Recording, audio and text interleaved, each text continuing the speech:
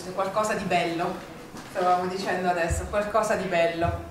Qualcosa di bello perché qua c'è la parola teatro, io la metterei per prima, tra le cose belle, tra le cose belle, la parola teatro. Ma poi l'abbiamo già fatta questa conferenza, ci siamo già detti quanto è importante eh, questo nome, il nome, un nome proprio di una persona che ha dato alla cultura maceratese, ma continuiamo questa cosa della cultura maceratese, ma in realtà ha dato alla cultura, alla cultura.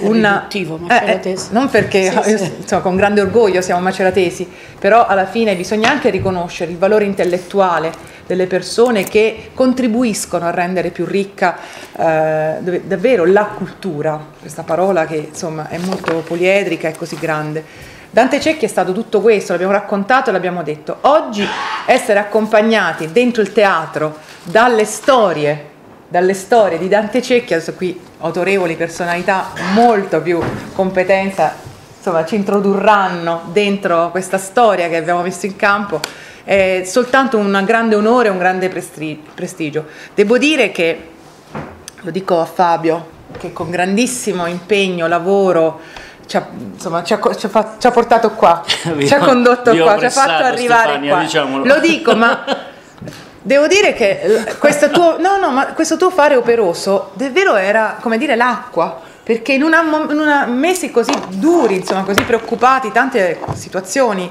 che do, non possiamo far finta che non ci siano state o che non, che siano no, no, ci sono e ci sono state e ci sono le preoccupazioni e, e anche l'animo e anche l'animo pesante.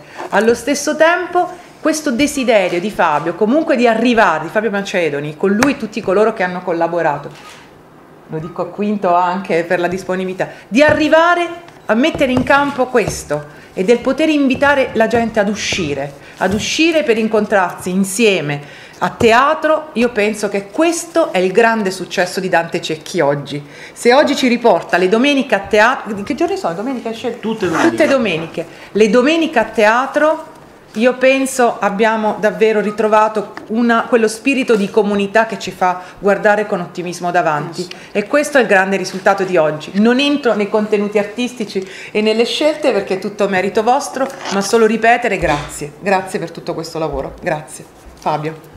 E dunque io intanto ringrazio Stefania Monteverde, io la chiamo Stefania, dovrei chiamarla assessore, vice sindaco, ma è una collega, quindi eh, noi veniamo dal mondo della scuola, allora... Mm, non... Quelli sono gli incarichi ecco. che capitano nella vita per un po', poi resti Stefania. Ecco, veniamo, veniamo da questo. Ebbene, ringrazio quindi per la disponibilità, ringrazio con lei l'amministrazione comunale che ha voluto comunque credere in questo progetto. Un progetto che parte da lontano, lo sapete, non lo ripetiamo, è partito già col centro studi storici in una data di ottobre in cui il teatro eh, Lauro Rossi era gremito, gremitissimo, quando si è parlato della, eh, della persona poliedrica che è Dante Cecchi Bellissima. Abbiamo annunciato in quell'occasione anche che avremmo fatto delle rassegne, il terremoto ne ha impedite alcune, ma non parliamo di quelle che non siamo riusciti a fare, parliamo di quelle che eh, sono invece in atto o che saranno in atto. Eh, una di queste, la più importante in assoluto perché Macerata eh, è una città eh, fondamentale nella vita e nell'opera di Cecchi, è quella che prenderà il via appunto il 29, domenica prossima tutte e sei le commedie di Cecchi. Credo che il risultato più mh, mm, importante sia eh, aver messo insieme, ma di questo potrà parlare Quinto, che poi è il presidente regionale di una delle federazioni delle teatri amatoriali, che è la WILT. Eh, è stato, non è facile mm, mettere insieme delle compagnie teatrali amatoriali, sono tutte molto autoreferenziali, sono terribili, eh, non, non, si amano per niente, insomma, è una cosa difficilissima. Però, eh, però in qualche modo probabilmente insomma, il progetto è stato più forte del, eh, dell'individualismo che certe volte e anche in molti altri campi eh, fa danni notevoli. Insomma, noi siamo poco abituati alla cooperazione, le nostre città sono tutte murate, quindi un motivo ci sarà anche storico. Bene, ehm, ma questo eh, era giusto per dire, invece quello che volevo eh, anche eh, fare era ringraziare Giovanni eh, per la grande disponibilità che sempre ci ha dato. E l'abbiamo messo di mezzo un bel po', ringraziare eh, la Presidente eh, di Fondazione Carima Rosaria del Balzo Ruiti perché la Fondazione Carima ha voluto aderire a un progetto che abbiamo suggerito ristampare tutte le opere di Cecchi e questo eh, è un altro grosso risultato, eh, diciamo così, insomma, non abbiamo, eh, non abbia, abbiamo scoperto l'acqua calda probabilmente, ma tutti quanti prima che venisse scoperta l'acqua calda non sapevano cosa fosse, quindi insomma un po' di merito ce lo prendiamo per questo, per averci creduto. E poi abbiamo il professor Pongetti, con l'Università di Macerata abbiamo instaurato una sorta di percorso comune che affianca le stagioni teatrali alla parte diciamo, scientifica, dialettologica e in, in, questo anno in particolare avrebbe dovuto accompagnare tutte le rassegne una sorta di, eh, di guida proprio al teatro dialettale di Cecchi, quindi la letteratura dialettale di Cecchi. Parlo di letteratura dialettale e non a caso, insomma, ma questo poi ci entreremo un pochino meglio dentro.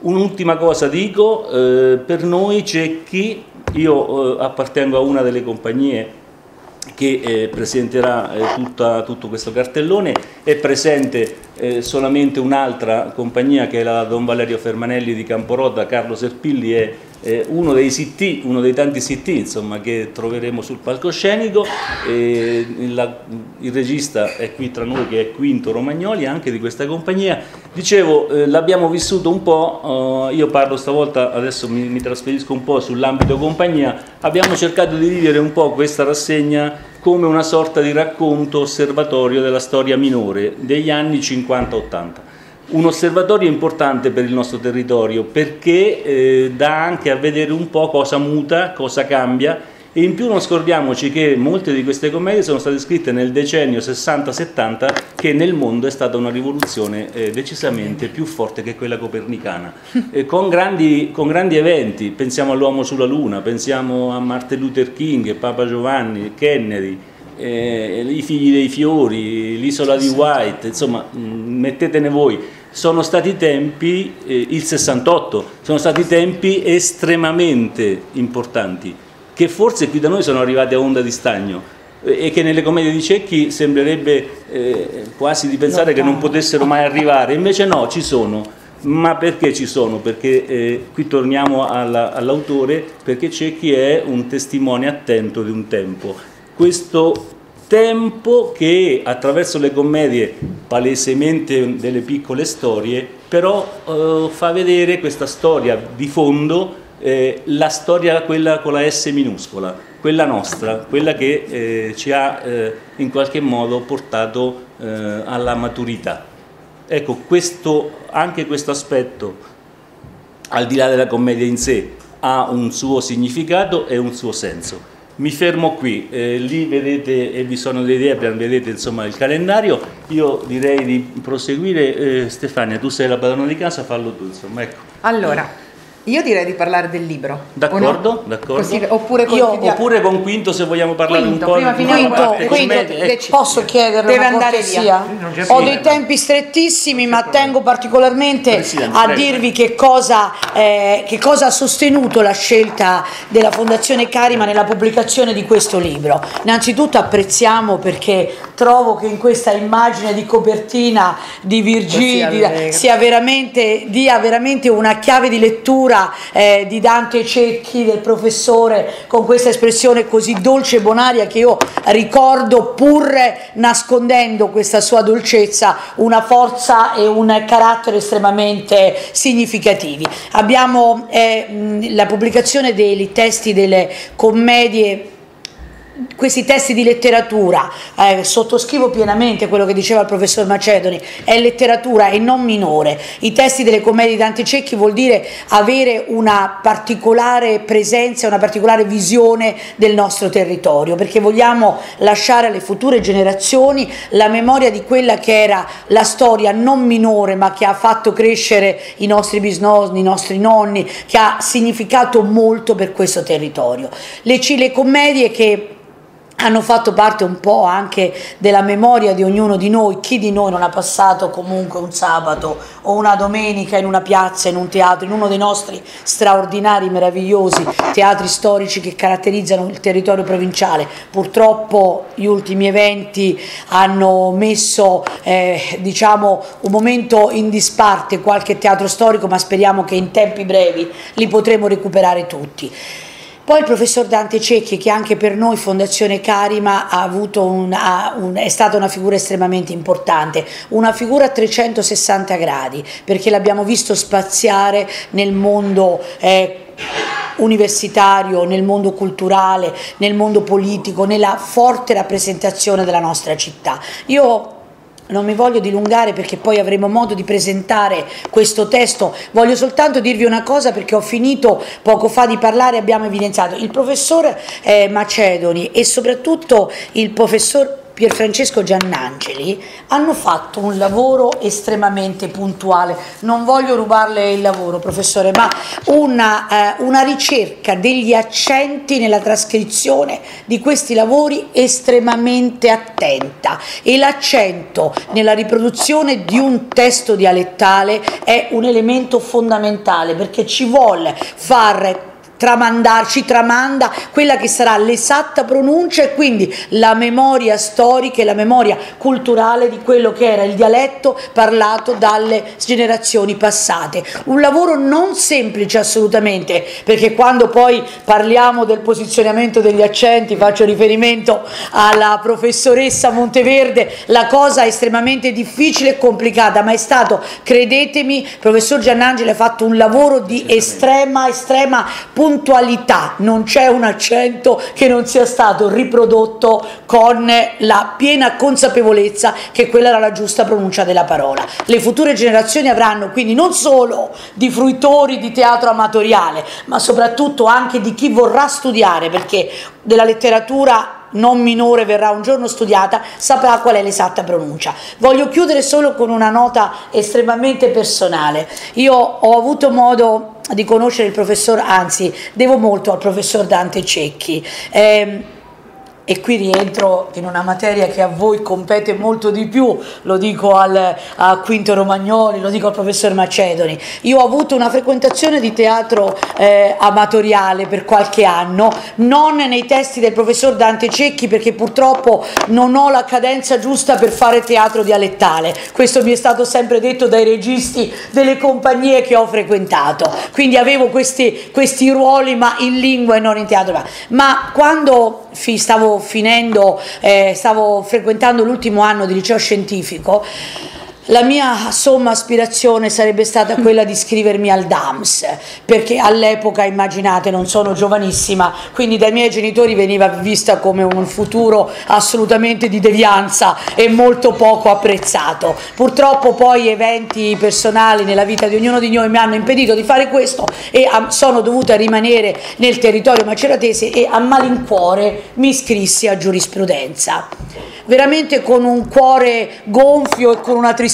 nell'animo perché non era quello che avrei voluto fare. Il primo esame che sostenne all'università fu storia dell'amministrazione pubblica con il professor Cecchi quale, eh, il quale si complimentò con me per un ottimo risultato raggiunto e al quale io aprendo il cuore dissi ma non è quello che io avrei voluto fare professore perché io avrei voluto fare un'altra cosa. E lui mi disse ma sa a volte la vita restituisce in corso d'opera quello che si vuole poi fare quelle che sono le insite passioni in ognuno di noi. Devo dire che fu profetica quella cosa io ho completato gli studi di giurisprudenza mi sono dilettata di fare del teatro amatoriale amatoriale, quindi ho anche compensato questo intimo input questo intimo sentire, per cui lo ringrazio e mai come, come adesso, anche come presidente di fondazione, quando il professor Macedoni mi ha, ha proposto questa iniziativa, l'ho abbracciata veramente con molto entusiasmo perché va a compensare anche degli, dei desideri personali,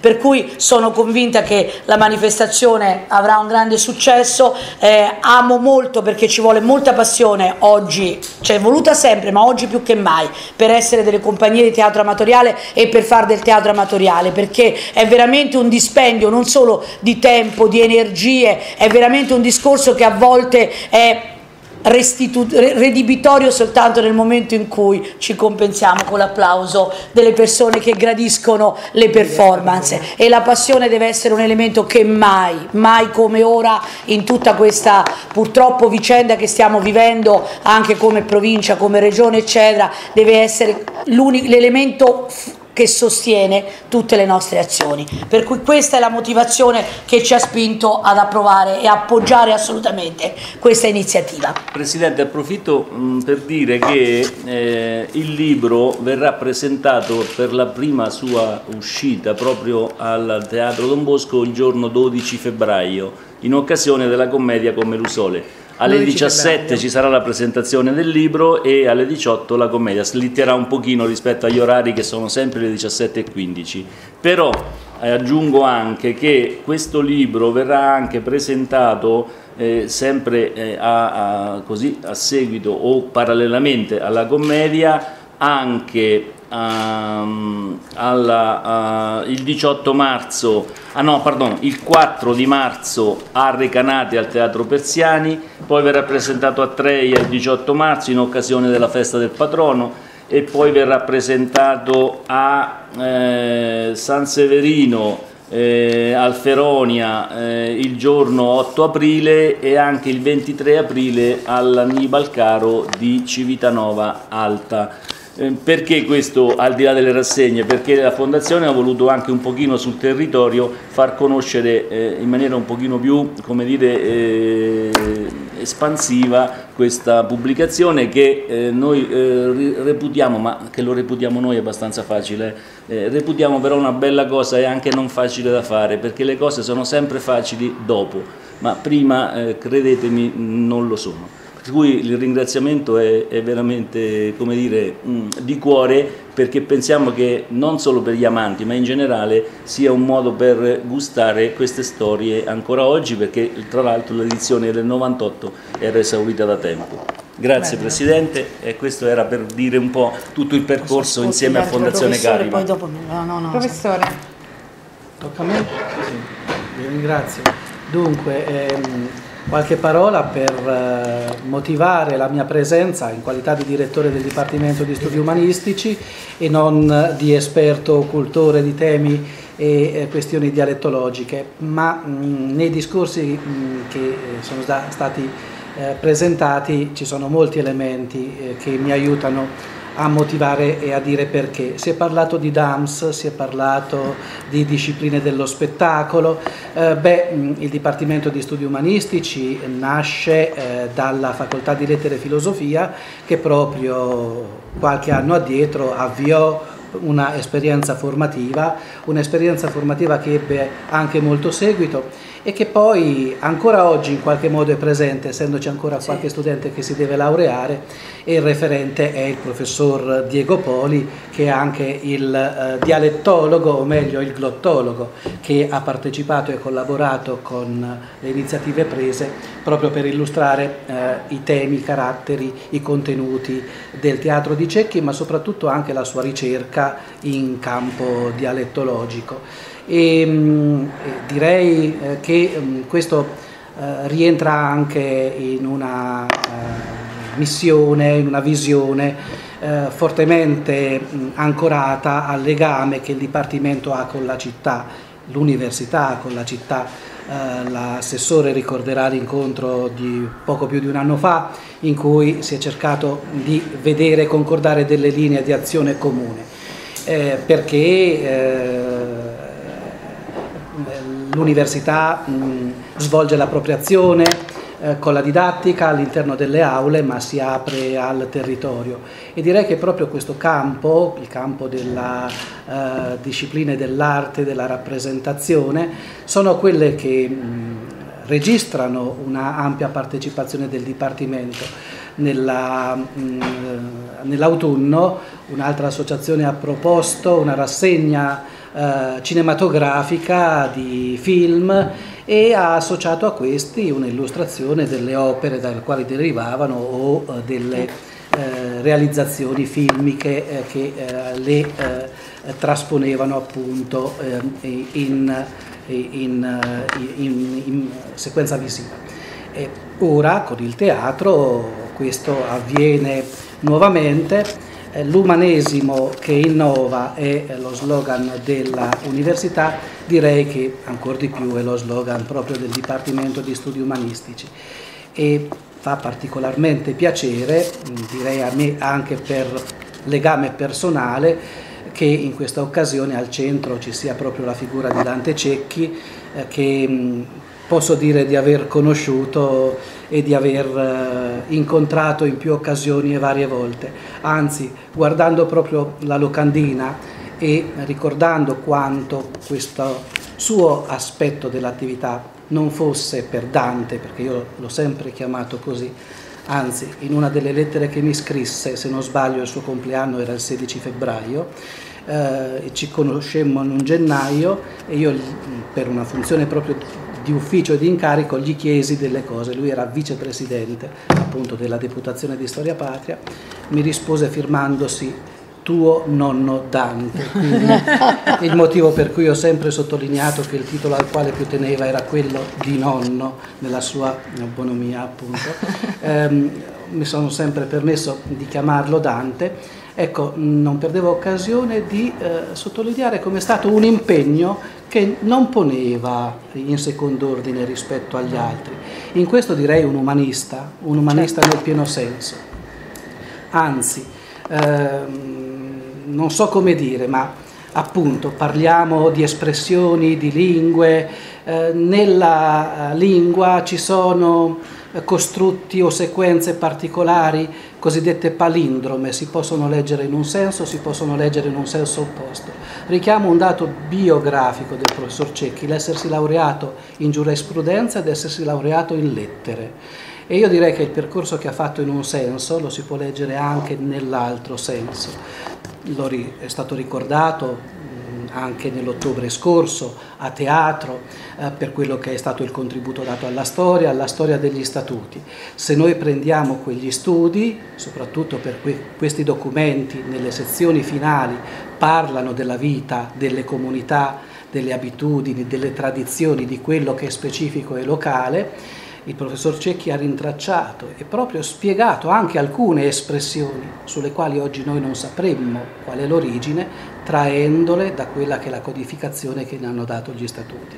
E dunque come dalla norma, dal diritto delle comunità locali si arriva alla lingua, proprio la comprensione e lo studio della lingua permette anche meglio la mh, esegesi di quei testi. Dunque direi un percorso mh, del tutto veramente completo, uh, umanistico in senso pieno. E l'altro dato, mh, sì, importante, eh, la sua attività di amministratore, perché in qualità di amministratore ha avuto anche modo di avvicinarsi a quei problemi eh, soprattutto nel periodo dell'immediato dopoguerra e fino agli anni 60 che l'hanno visto particolarmente impegnato.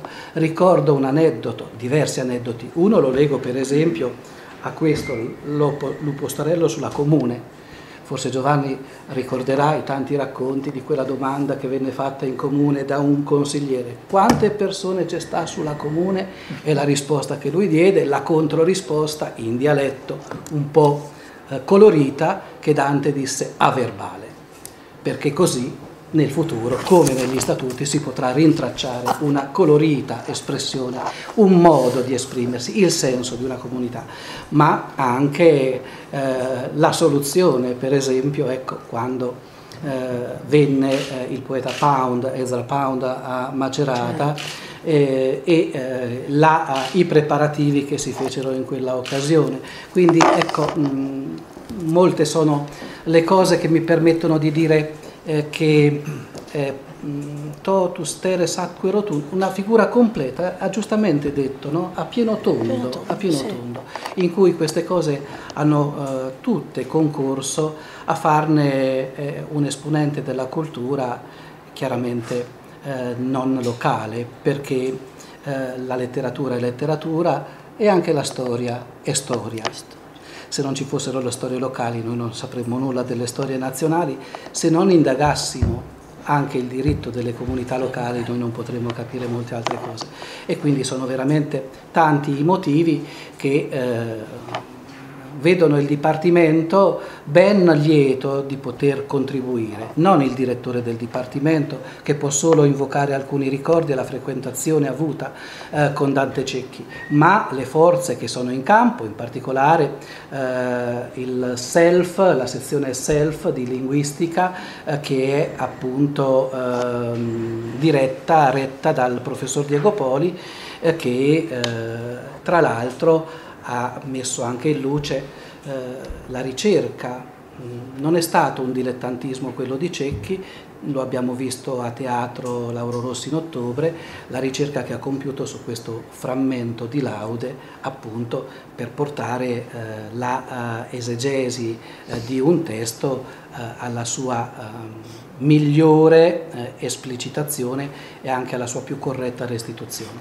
Quindi eh, chiaramente tutto il sostegno, tutta l'adesione per queste e per le altre iniziative che eh, sono sotto il segno forte della umanità. E sentiamo Quinto.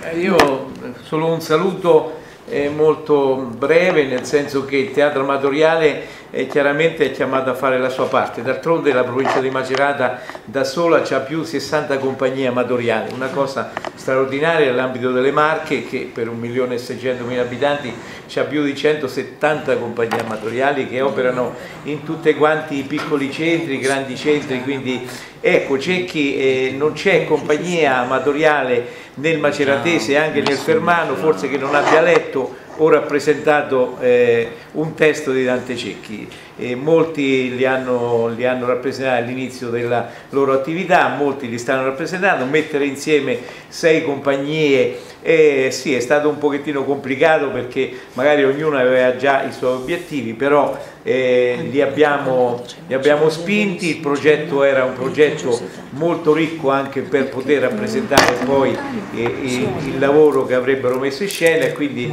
eh, noi come organizzazione che coordina tutte queste compagnie ne siamo soddisfatti, d'altronde abbiamo altre 17-18 rassegne tutte posizionate in piccoli centri dove noi certamente siamo più presenti perché lì il teatro professionale è difficile che possa arrivare per motivi economici, poi abbiamo tutto questo momento così eh, difficile nella parte montana dove sono mm. chiusi almeno 6-7 eh. teatri storici, quindi, eh.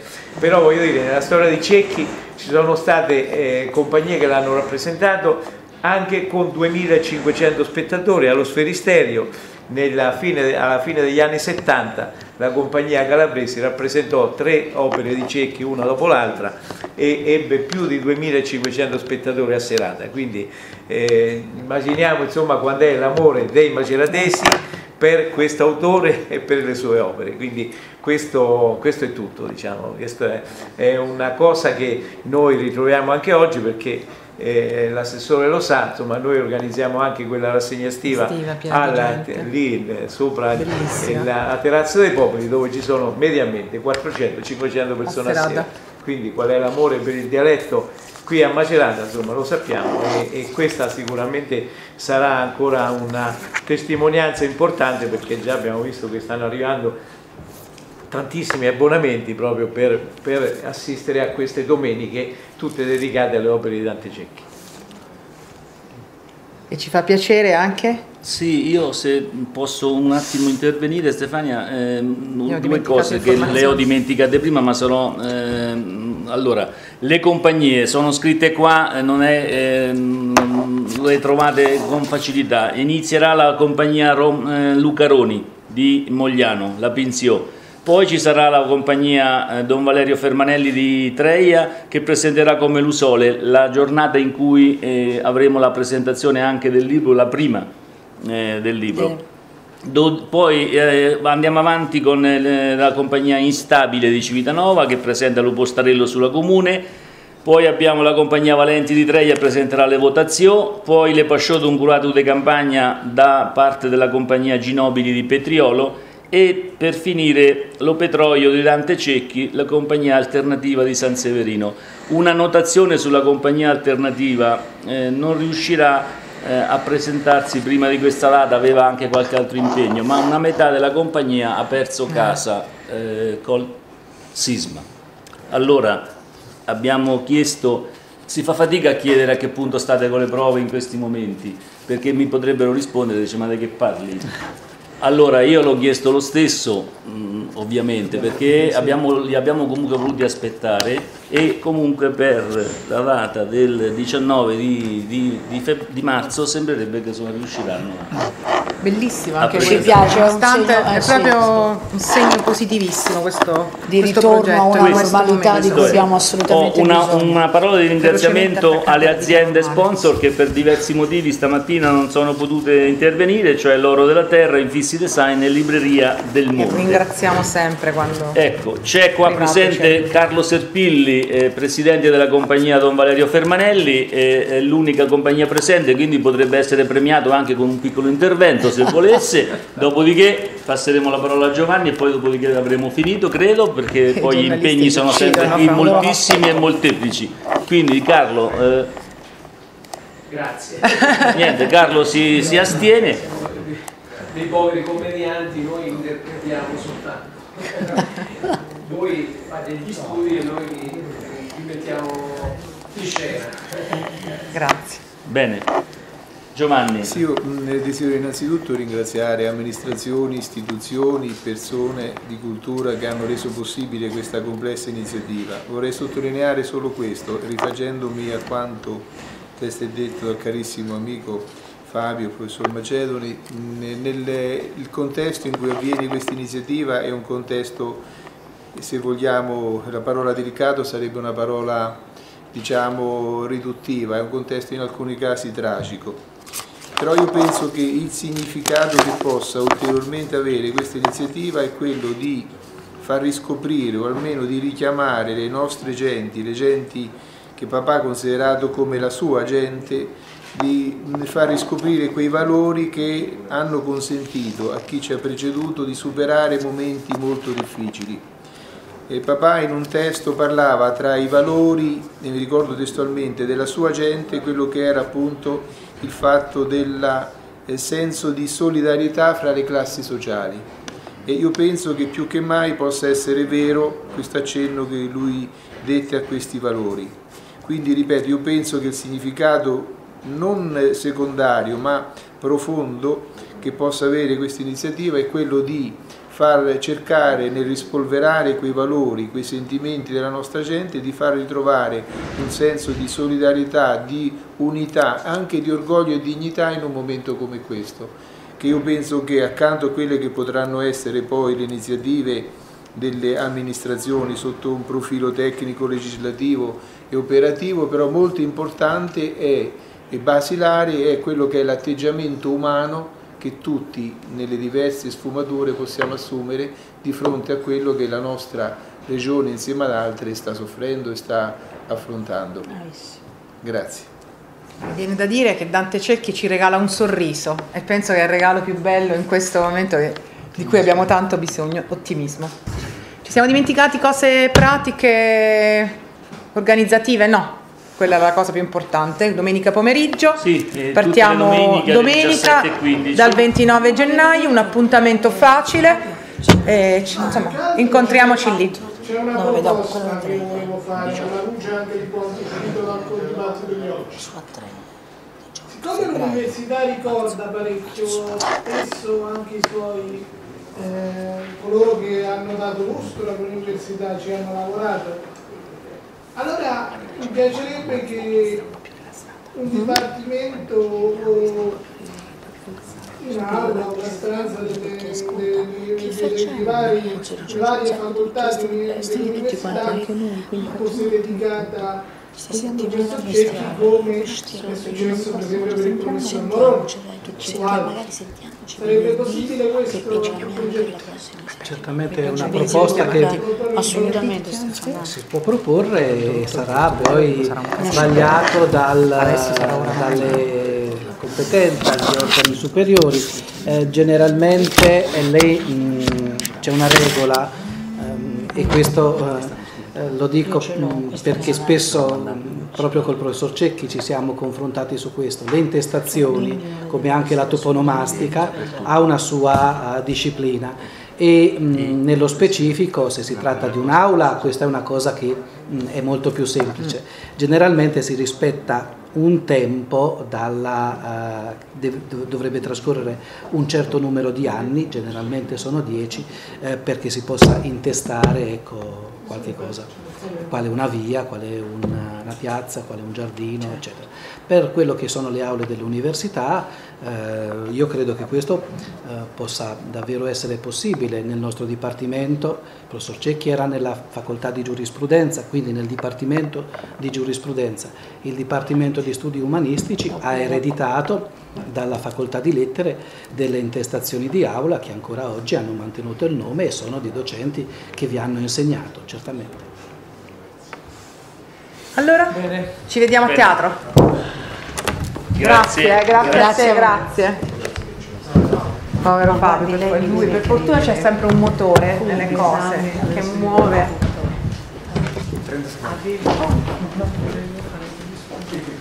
Grazie, grazie. Comunque, domenica, ce ne sono altre che non so di sentiamo quindi, stia sono campagna. Ecco. Ah, io ho casa qui, Ciao, quindi qui. quando sono qui. Ci sentiamo prossimamente, grazie. Sì, sì, io perché Corso Cavour, di fronte al Dipartimento. Sì, sì. Casa e bottega. Eh, allora non è il problema, che la domenica uno fa anche altro, se no. sì, ci abito per lavoro, poi la mia residenza è rimasta sempre a Senigallia. Un po' di vita privata lasciamogliela, no? Qualche cosa. Carlo, grazie, ciao. Quando non sono Macerata e non sono Carlo, Treia, portate via qualcosa di questo. Grazie. Ciao. Allora,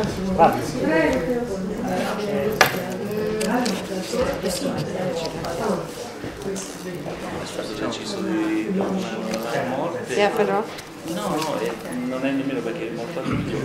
Si era deciso di fare questa cosa di dedicare una stagione eh, almeno noi per quelli che organizzavano il mondo ci ha messo le mani e quindi ci ha fatto queste sono rimaste. Assolutamente. È stato è un'operazione alla quale io ho creduto subito. Tanto ci incontriamo. La chiavetta la porto via apposta. Ok, grazie a voi. Arrivederci. Come no? Come no?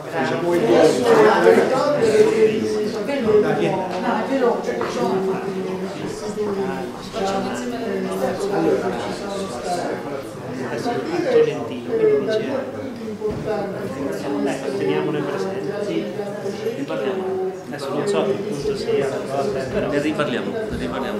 Agostino, grazie mille. Grazie. Ciao. Agostino, qui sì, ho preso. Al di là nostra, fai così. Cioè tu quando hai voglia, sì. mi telefoni, mi dici vengo, mi scrivi, come ti pare, sei il nostro ospite. Tu e Miriam, è comodo. D'accordo?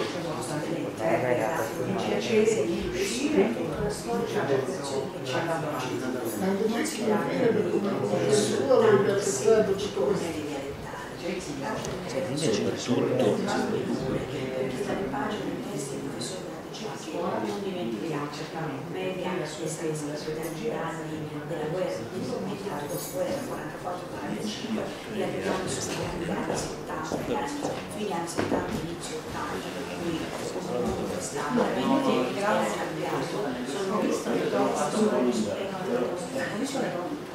dopo sono di generazioni di popoli, di classi sociali che hanno fatto molto, che hanno fatto la storia di questo nostro territorio. Assolutamente sì, è poi professore che con lui ha consultato, abbiamo cercato di fare e lui ha fatto. Ce n'è un'altra? Ah, la tua, ah, la tua, scusa. C'è un il dialetto invernale è parlata delle nostre delle passate generazioni. Un lavoro molto attento per lasciare una giornata, adesso è popolare. Devo sapere. Comunque si dovrebbe stare. Questo è una vita popolare.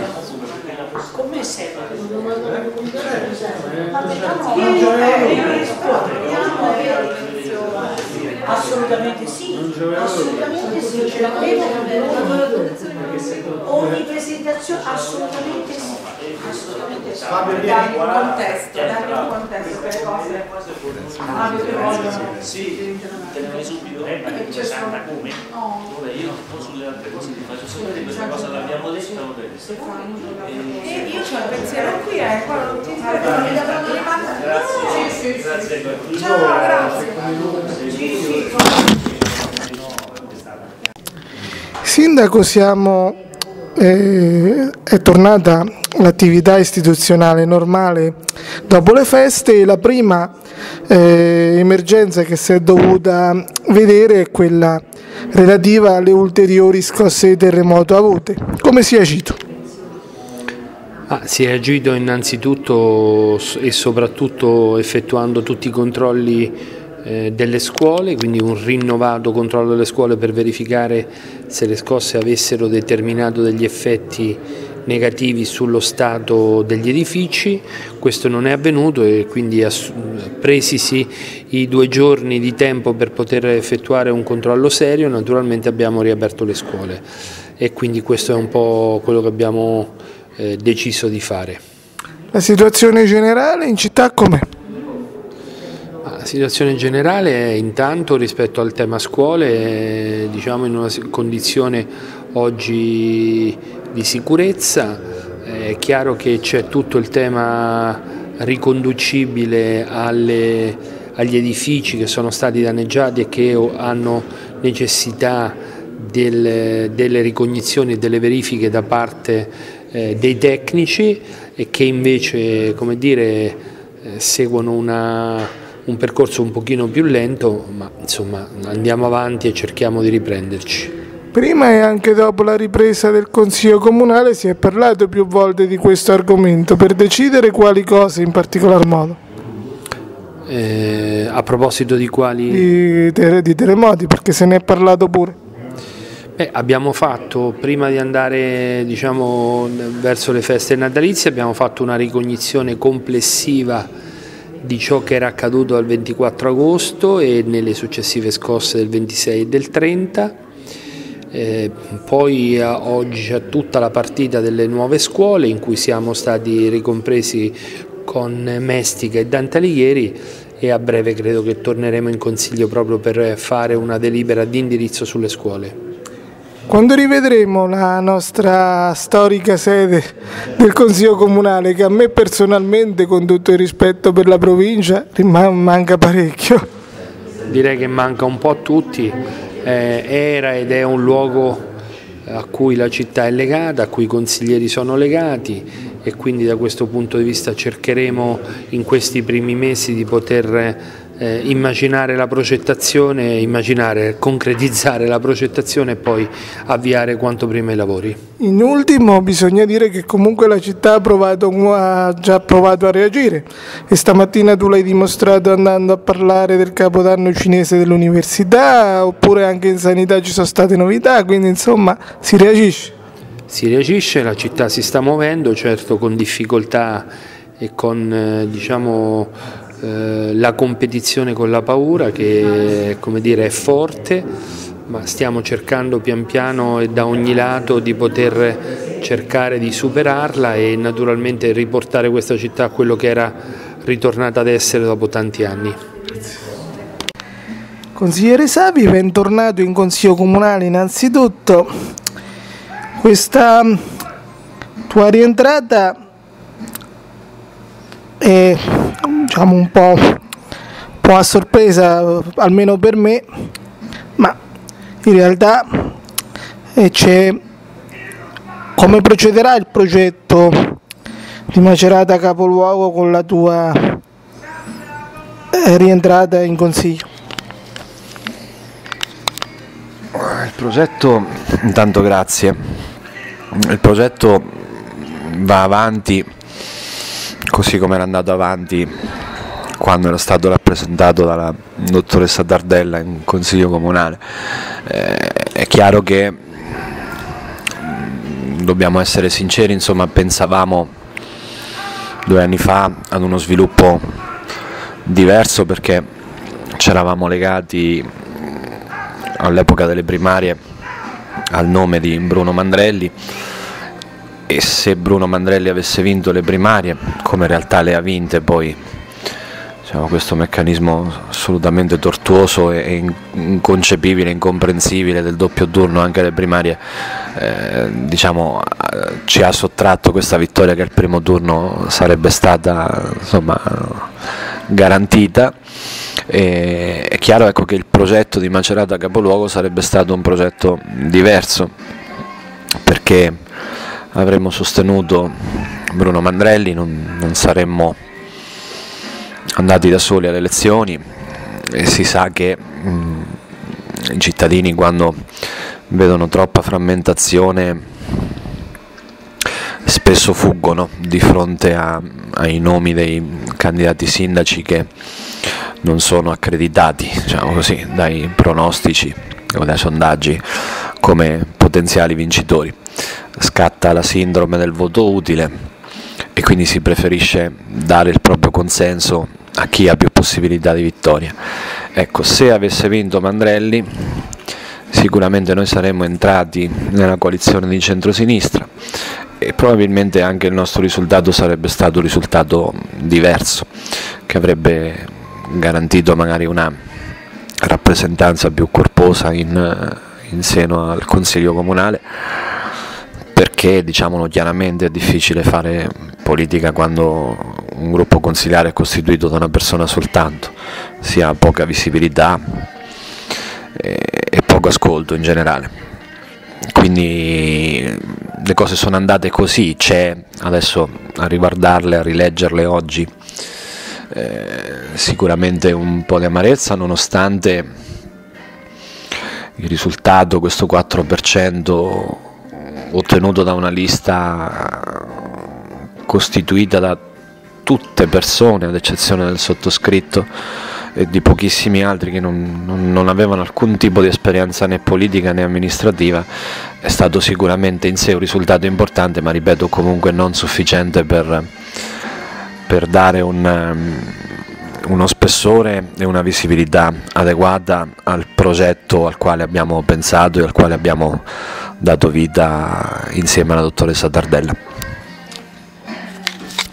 Rientrare rappresentando una lista civica, tu che hai sempre fatto parte comunque di partiti, ti porterà a dover lavorare in un modo diverso o il, tuo modo di interpretare le scelte politiche sarà lo stesso di, di tanti anni fa?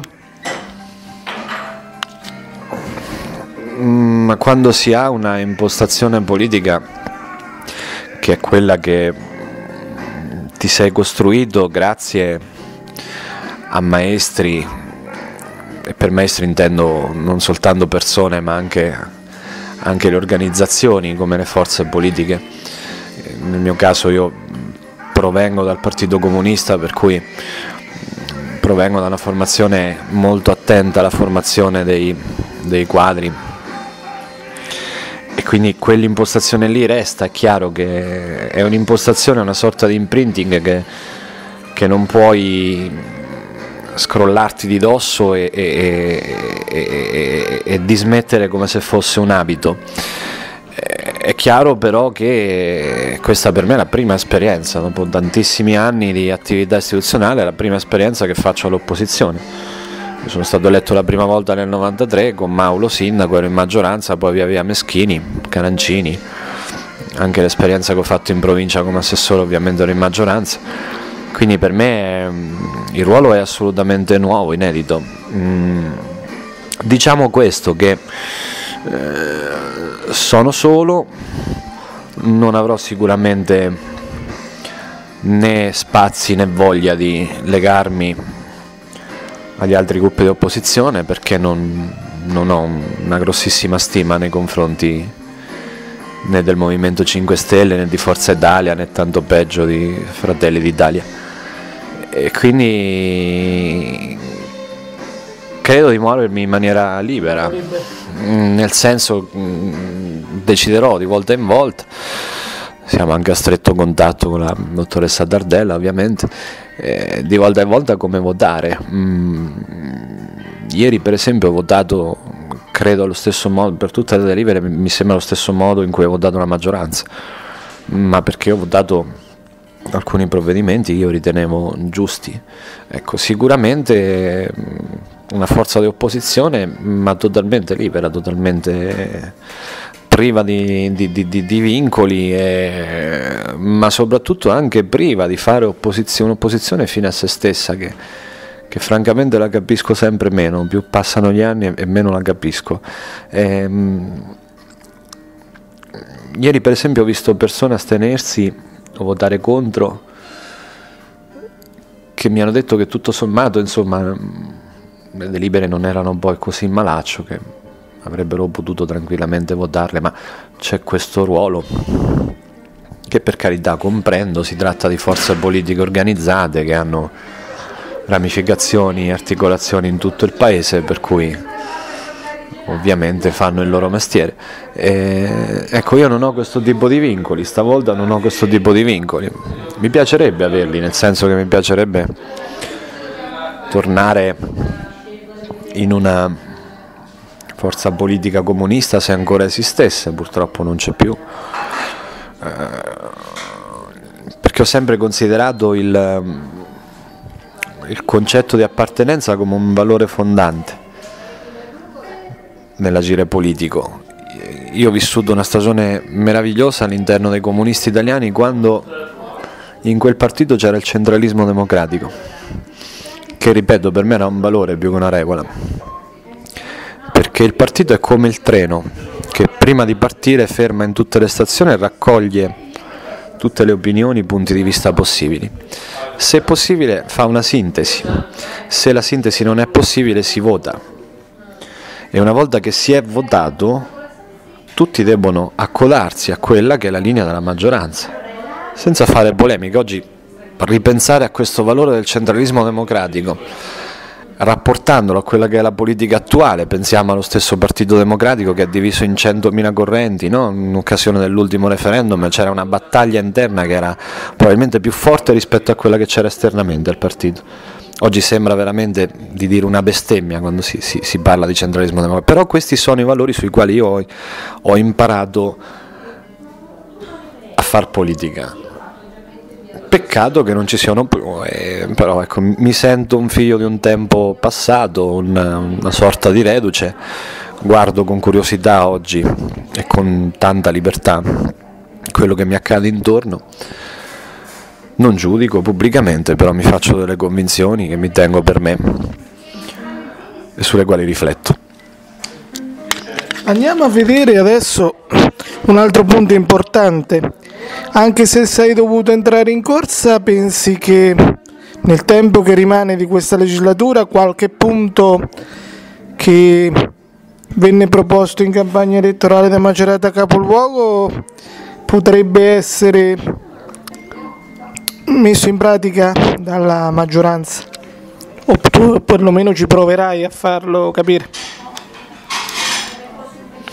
Senz'altro sì, mm, ho appena ripreso in mano il programma di Macerata Capoluogo che è un programma uh, mm, relativamente breve, una ventina di pagine, sicuramente mm, molto più ricco rispetto a quello di altre forze politiche più importanti della nostra lista civica, ma al tempo stesso non era il libro dei sogni, era una un elenco di cose che, che, si sarebbero potute fare, molte delle quali le abbiamo mutuate un po' dal, dalla campagna elettorale che fece Bruno Mandrelli in occasione delle primarie, per cui sicuramente queste per partito preso, anche proponendole, sarebbero sicuramente rigettate. Però c'erano anche delle idee molto semplici eh, rispetto alle quali eh, sicuramente ecco, riproporle potrebbe essere un, un arricchimento per, per l'Assise, per il Consiglio stesso.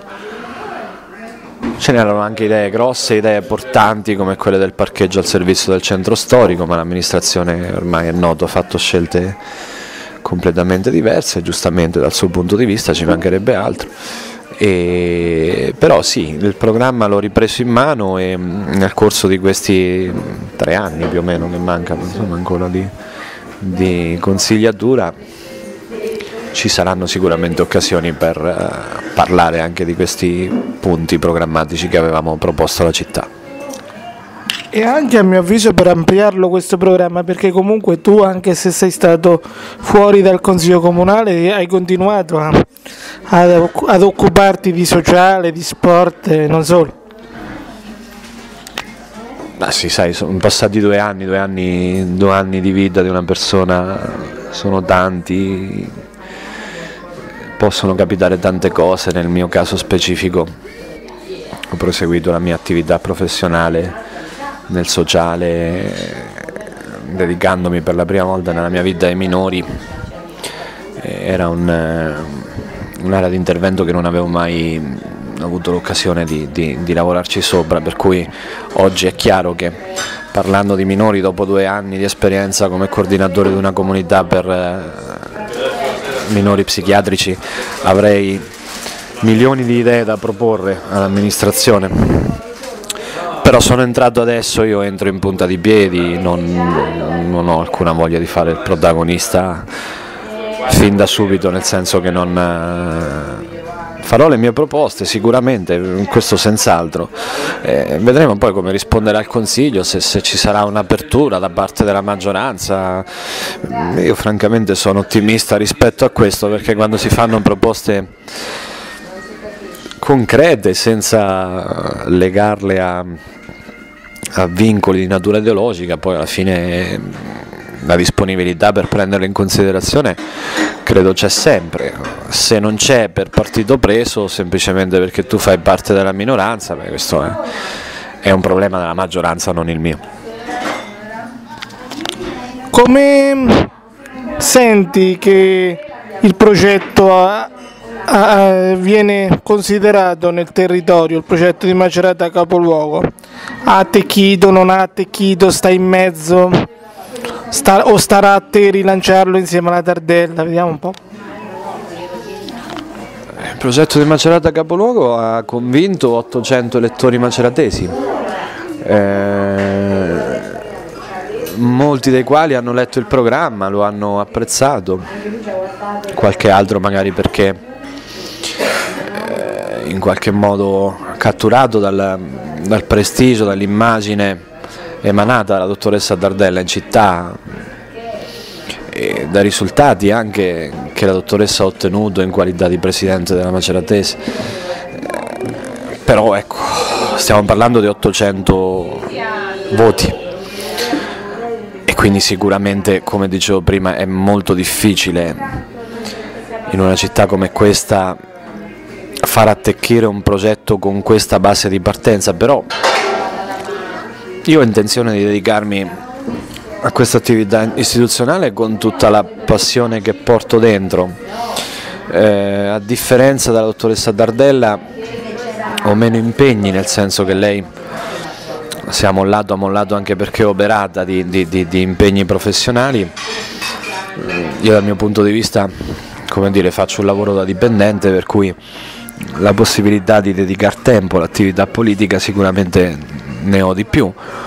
Quindi vediamo, mm, magari di fronte a delle proposte concrete in Consiglio Comunale eh, potrebbero esserci delle risposte anche da parte della città, potrebbero essere notate. Mi auguro che sia così e che i cittadini insomma, continuino nonostante questa disaffezione diffusa a seguire la politica, soprattutto la politica locale, quella del, del proprio, del, della propria città, insomma, del proprio territorio, perché c'è bisogno di questo, ecco, se, i, poli, se i, i cittadini seguissero di più la politica si accorgerebbero che eh, magari tanto lavoro viene fatto nel territorio per cercare di migliorare il territorio, ma non è sempre facile riuscirci.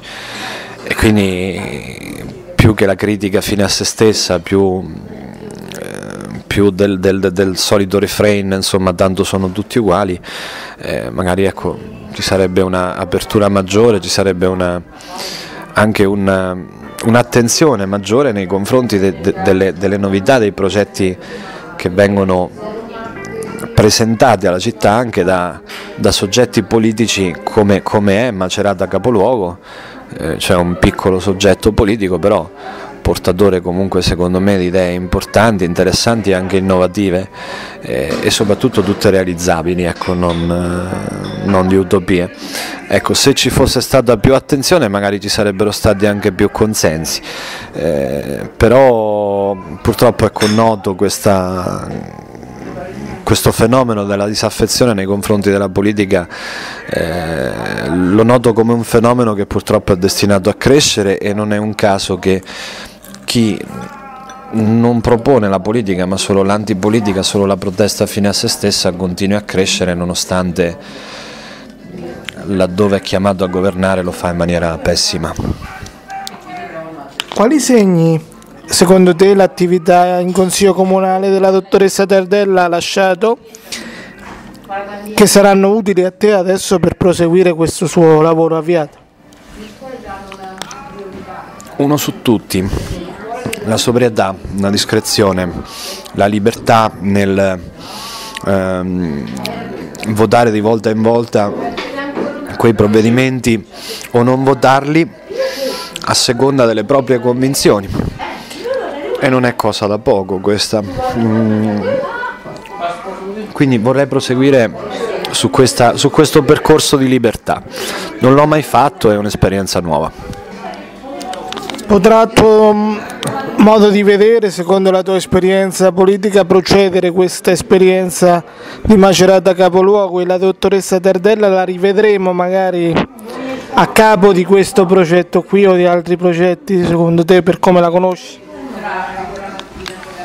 Io spero proprio di sì, spero che la dottoressa si liberi dai tanti impegni che ha, spero che ritrovi quella passione che momentaneamente è sopita anche da, a causa di avvenimenti mh, mm, non propriamente piacevoli, diciamo così, legati soprattutto al calcio, eh, perché secondo me è un progetto molto bello che merita, che meriterebbe di essere rilanciato nel, nel territorio. Gli altri che hanno fatto parte della, della, della vostra avventura di due anni fa e sono ancora legati in qualche modo al progetto, se lo seguono oppure no? Abbiamo una pagina Facebook, ci sono i, i candidati, quelle, quelle persone che ci hanno dato una mano anche non candidandosi, che sono attive, non tutti ovviamente, poi molto spesso accade che quando insomma uno si candida e non viene eletto, no? Mm, normale che molli un po', però questa è un po' una situazione che è comune non solo alle liste civiche ma anche alle forze politiche stesse, quindi l'entusiasmo, la passione di solito si riaccende a qualche mese dalle elezioni, no? quindi non si può misurare la, la passione che c'è oggi, l'entusiasmo che c'è oggi e paragonarlo con quello che c'è stato due anni fa o quello che ci sarà tra tre anni. È ovvio, come tutte le cose, insomma, in occasione delle scadenze aumenta l'interesse, questo è normale. Però la base c'è e quelle persone fantastiche con cui abbiamo costruito questa avventura, insomma, perlomeno quelle più eh, vicine al progetto, quelle che lo hanno interpretato nel modo, come dire, mm, nel suo senso più profondo, sono ancora lì. Pensi di dover avviare un'opera di ricucitura di qualche rapporto, per esempio col sindaco, perché sapendo che tu eh, sostenevi Bruno sicuramente non, sa, non so fino a che punto sarà stato contento.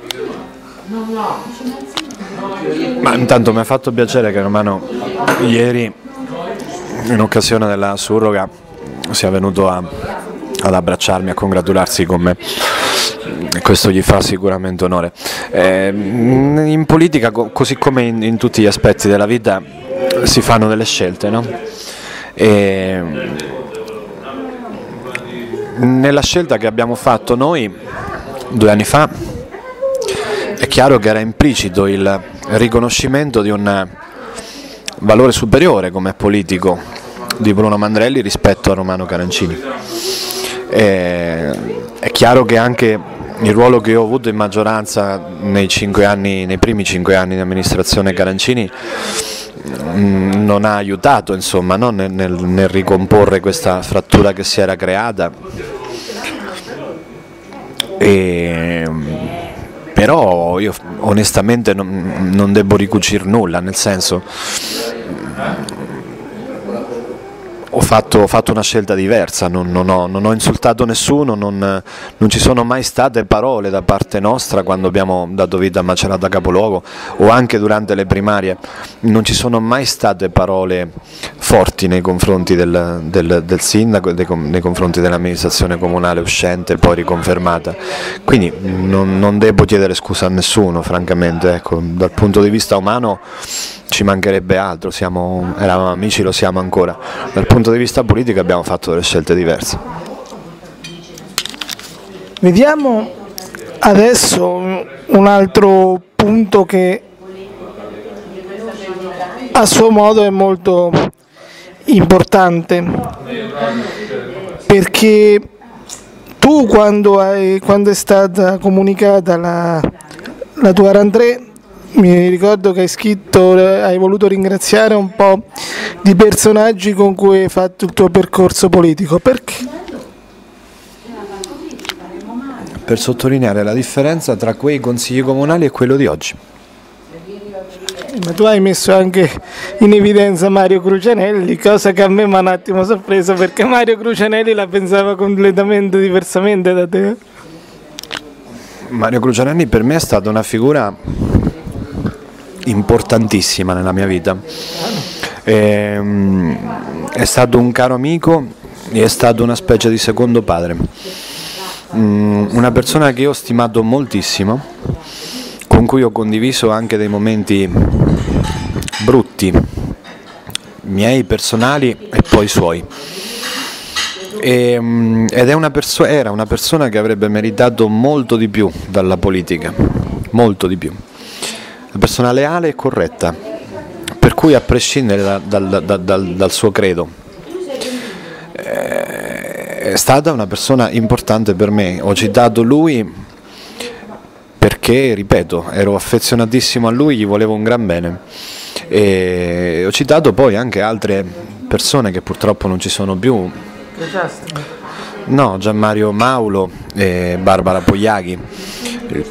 Gianmario è stato il mio primo sindaco, è stato il sindaco che ho avuto la prima volta che sono stato eletto in consiglio comunale e all'epoca Barbara era assessore alla cultura, poi nell'esperienza Meschini è stata presidente del consiglio, quindi insomma due figure sicuramente importanti ma potrei veramente citarne tantissime. Ho avuto la fortuna di conoscere veramente dei, dei, dei, dei colleghi consiglieri talmente preparati e talmente bravi che ricordo aspettai più di due anni prima di parlare nella assise cittadina, non ebbi il coraggio di farlo per i primi due anni. Che altro aggiungiamo come sempre quando io chiudo le interviste? Ma aggiungiamo che il consiglio comunale che trovo è diverso da quello che ho lasciato, così come quello che ho lasciato era diverso da quello precedente. Mm, mi auguro che cresca la politica, perché in questi primi due giorni, soprattutto ieri, ho, visto, ho preso atto di una gran perdita di tempo, c'erano 26 emendamenti per un regolamento SUAP e credo che quando arriverà il momento del bilancio se si fanno 26 emendamenti per un regolamento SUAP credo che non ne basterebbero mille insomma no? quindi mm, emendamenti poi mm, tutti, tutti, incentrati su, su termini, su, su, questioni proprio meramente terminologiche. Quindi una gran perdita di tempo, ieri secondo me abbiamo buttato via tre ore del nostro tempo. Per cui mi auguro ecco, che mh, subentri un po' più di serietà, un po' più di attaccamento alla maglia, come si direbbe nel mondo del calcio, perché il Consiglio Comunale, così come tutte le istituzioni pubbliche, è una cosa seria e onestamente mh, perdere tempo e farlo perdere agli altri non è una cosa all'altezza di quell'assise.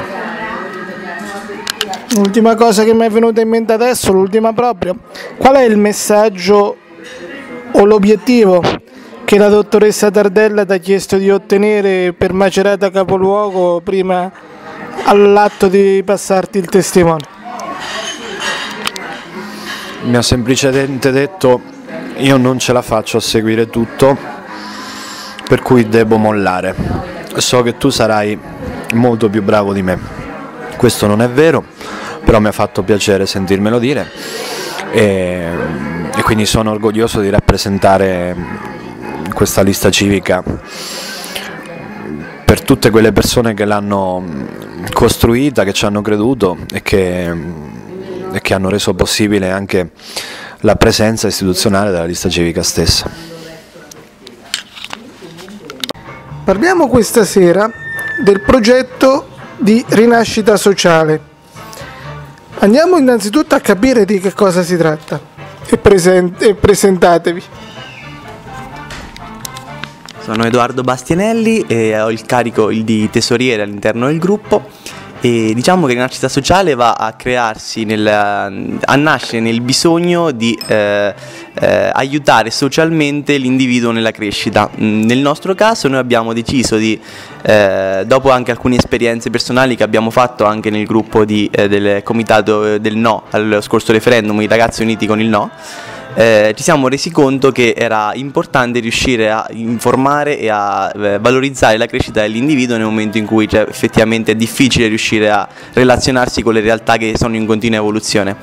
Per quanto riguarda i nostri diciamo, i, eh, obiettivi iniziali erano appunto diciamo, ci siamo resi conto che c'era la possibilità di crearsi in questa occasione, di mettersi in gioco in questa maniera in cui ci saremmo eh, andati a creare appunto la, l'obiettivo di mh, arrivare a più persone possibili, riuscire a raggiungere persone e eh, unirle diciamo, nella, nella possibilità di una crescita.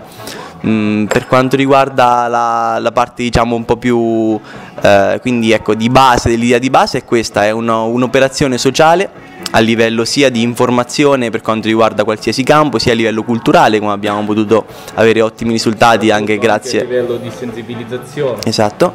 Sì prego allora prego aggiungi pure sì, no, infatti sono Orel Yevgen, il presidente di, questa, di, questo schieramento, di questo progetto appunto.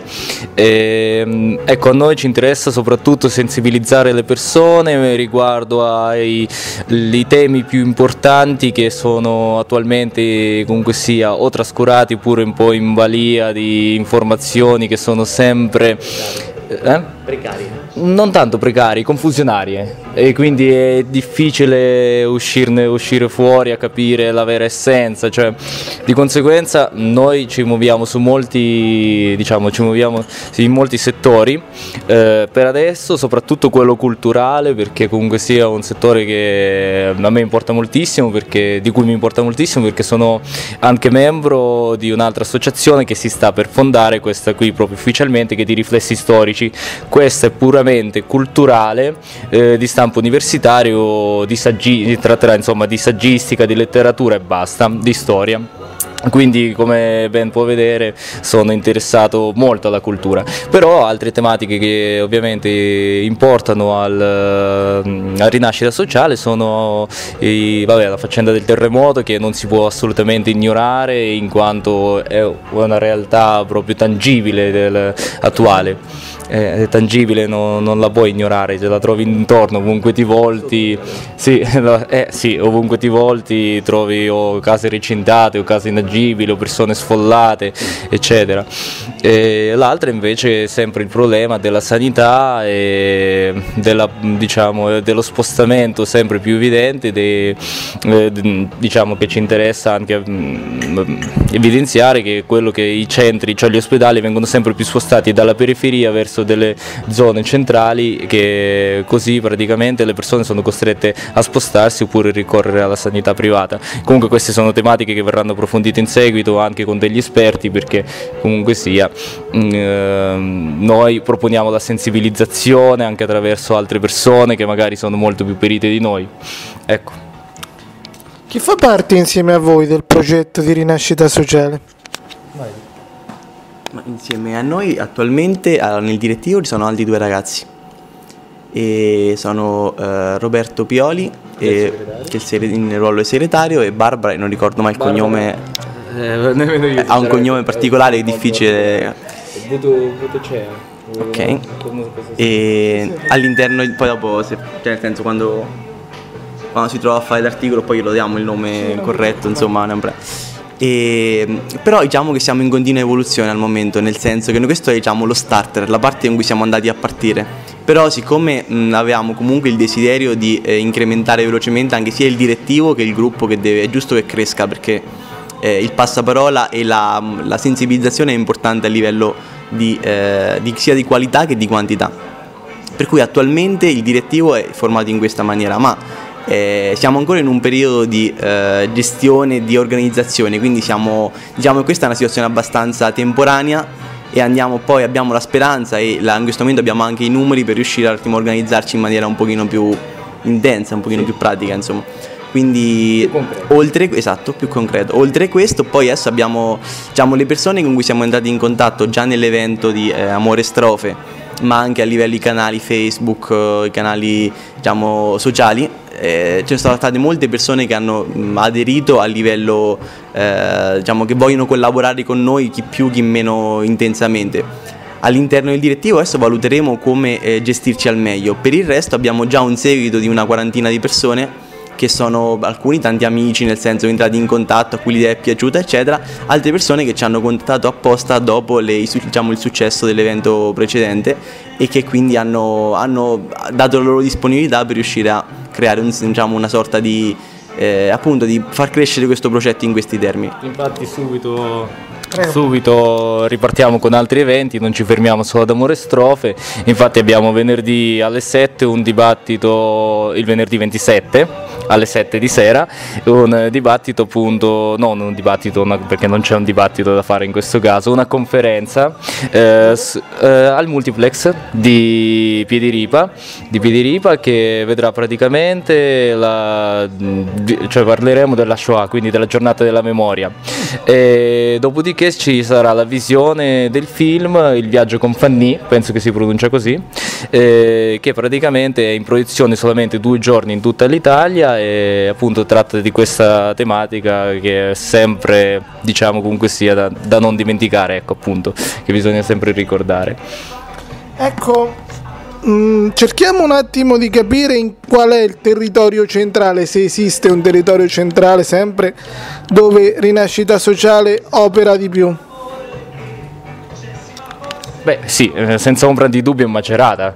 No- noi cerchiamo, noi siamo nati qui e ci siamo fatti conoscere qui, quindi Macerata è il territorio centrale in cui operiamo attualmente e mm, penso che per adesso è così. Diciamo più che altro che ehm, cioè noi, abbiamo avuto, noi siamo conosciuti qui, quindi è un po' per motivi universitari, un po' per motivi pratici e il punto di incontro nostro focale è stato questo. E- però è anche vero che il progetto va esteso almeno, almeno nella provincia. Poi l'idea nostra sarebbe comunque di riuscire a valorizzare anche appunto per i motivi dell'assistenza per il terremoto e cose del genere, andare a sensibilizzare territori abbastanza più ampi perché Macerata è stata toccata da quel punto di vista molto relativamente. Per cui di spostarci nella provincia, per cui sì, diciamo che è- abbiamo avuto come base Macerata, ma l'obiettivo è quantomeno inizialmente la provincia e poi magari estenderci anche un territorio un po' più ampio, dipende da, da quante effettivamente persone riusciamo a stimolare da quel punto di vista. Quindi diciamo che anche questo è in crescita, ecco, grazie a Dio. Il nome di Rinascita Sociale come uscì? Beh, Rinascita, ehm, diciamo che comunque sì, essendo uno studente di lettere, io eh, il Rinascimento è la gloria dell'Italia nel mondo, volevo in qualche, modo, in qualche modo riprendere questo concetto perché il presupposto mio di base era quello di appunto culturale, di conseguenza Rinascita è stata la cosa migliore, cioè è stato il termine migliore che mi è venuto in mente in quel contesto, il Rinascita appunto, il Rinascimento, di questo, è- questo intendevo appunto per Rinascita. Che età media hanno eh, solitamente i mh, componenti principali di rinascita sociale, anche i soci, se così si possono chiamare attualmente? All'interno del direttivo, eh, allora siamo, eh, penso l'età media, Più vecchio sono io con 25 anni. no, più vecchio sono io, il 90. Sei del 90? Sì, si è scoperte. e la più piccola invece è Barbara che è del 98, quindi il direttivo abbiamo questi, la media è sui 24-23 anni. Mentre diciamo le persone che ci seguono ci sono sia persone adulte che sono entrate in contatto dopo, dopo gli ultimi eventi, quindi anche adesso non, non chiedo l'età, però nel senso su una quarantina di anni, e ma la maggior parte sono per adesso ragazzi che sono comunque sui 20-25 anni questa fascia qui. Quindi è abbastanza ampio come spettro attualmente e speriamo cresca ancora. Ci sono eh, persone che studiano, persone che lavorano, mh, eh, persone insomma provenienti da vari ceti sociali dentro Rinascita Sociale? Dentro il direttivo siamo, per la- siamo tutti studenti, sì. Eh, Barbara addirittura fa ancora il quinto superiore, quindi così. Sì, no, lei infatti è del 98, quindi sì. Segretaria del... I gruppi studenti, come si chiama? Il, il tribunale, no, il tribunale studentesco, il, eh, Comitati studenteschi a livello di, istitu- di istitu- di istituti, cose del genere. Esatto, lei è, quindi, è San Severino. E quindi è molto, diciamo, molto capace nonostante l'età, è stata un ottimo elemento da questo punto di vista. Tu Eugenio hai parlato prima del, um, dell'evento che- Amore Strofe che ti ha visto recentemente protagonista. Spieghiamo, anzi ripetiamo di cosa si è trattato perché mi pare di aver, eh, che se non ricordo male, che te ci avevo già intervistato, ma per chi non avesse ascoltato le interviste già pubblicate, ripetiamo. Amore Strofe è stato un eh, evento avvenuto all'interno della seconda edizione di Arche di Javier Stacchiotti mh, che ha visto praticamente la rinascita, visto Rinascita Sociale mettere in piedi questo evento eh, sponsorizzandolo, pubblicizzandolo insomma. E praticamente noi l'ho organizzato io diciamo a livello proprio pratico. Ovvero ho scelto un tema principale che era quello appunto di- della poesia amorosa. Ho contattato dei ragazzi che sapevo che erano estremamente bravi a fare questo genere di poesia e li ho fatti declamare. L'evento ha avuto un successo inaspettato soprattutto perché nei giorni precedenti c'è stata la neve c'è stato il terremoto. Di conseguenza vedere che c'erano qu- quasi 90 pers- 70 80 persone non so 90 perché ad un certo punto ho perso il conto è stata, è stata una cosa scioccante per me devo dire perché sì una bella soddisfazione perché portare così tante persone in un contesto del genere nel 2017 a sentire della poesia mi sembrava una cosa impossibile devo dire che poi se ti ricordi Francesco in un'intervista molto precedente io ti avevo detto che era proprio il mio desiderio ripetere il teatro, la canzone nel teatro di Gaber e di Battisti. E questo è stato un primo passo che spero di rimettere, di continuare a rimettere in piedi magari in maniera anche sempre più articolata e sempre più complessa sia a livello di sceneggiature sia a livello di contenuto. Ecco questo qui So che comunque a livello, eh, mi dicevate prima dell'intervista che prima di Amore Straffe ci sono stati anche altri eventi avete su cui avete cominciato a lavorare o che addirittura avete fatto. Beh, allora se è vero spieghiamoli. prego No, eh, nel senso di eventi precedenti a Amore Strofe, come gruppo di Rinascita Sociale non abbiamo creato, non c'è stato nulla precedentemente. Diciamo che stiamo, stavamo già eh, mettendo in, eh, diciamo costru- costituendo questi eventi che andremo invece a creare, da- diciamo che, sta- che hanno in date future, nel senso eh, il primo è questo appunto di cui aveva parlato eh, Eugenio con, con il cinema, relativo alle giornate della memoria, e il secondo è quello del, del viaggio a Roma che stiamo considerando, abbiamo eh, stabilito una data in cui noi saremo, eh, abbiamo l'opportunità di visitare eh, non so le date di quelli sia di- il Senato, la sede del Senato. Poi che altro stava in giro? Vabbè, sì, è una... Sarà, era partito come un viaggio esclusivamente alla sede del Senato invece si è trasformata in una gita, diciamo, in cui praticamente nella, nelle, sì, una gita di Roma, che è sempre una delle capitali più belle del mondo, se non la più bella, di conseguenza una gita turistica, dopodiché ci sta la, appunto questa visita al Senato, che ha tra l'altro anche un giorno lavorativo, quindi ci saranno tutti i senatori, quindi saremo accompagnati appunto a visitare questo luogo dal senatore Remigio Ceroni che ci farà da Cicerone Cicerone, e dopodiché ci sarà un altro, un altro viaggio turistico al di fuori del Senato e di conseguenza eh, sarà una bella esperienza per il 9 di febbraio penso. Speriamo di portare più gente, no porteremo più gente possibile, sono sicuro di questo. E niente perché trovo che sia una cosa molto bella, è un, eh, una, no, una bella iniziativa in generale. Andiamo a vedere per quale motivo avete scelto il multiplex per la prossima iniziativa del 27. Mm, vabbè, che si tratta di film, però insomma, eh, vediamo perché proprio, per que- proprio quel luogo lì. Ma principalmente allora, il, il, film in sé per sé era abbastanza significativo e aveva un buon, un buon peso da questo punto di vista.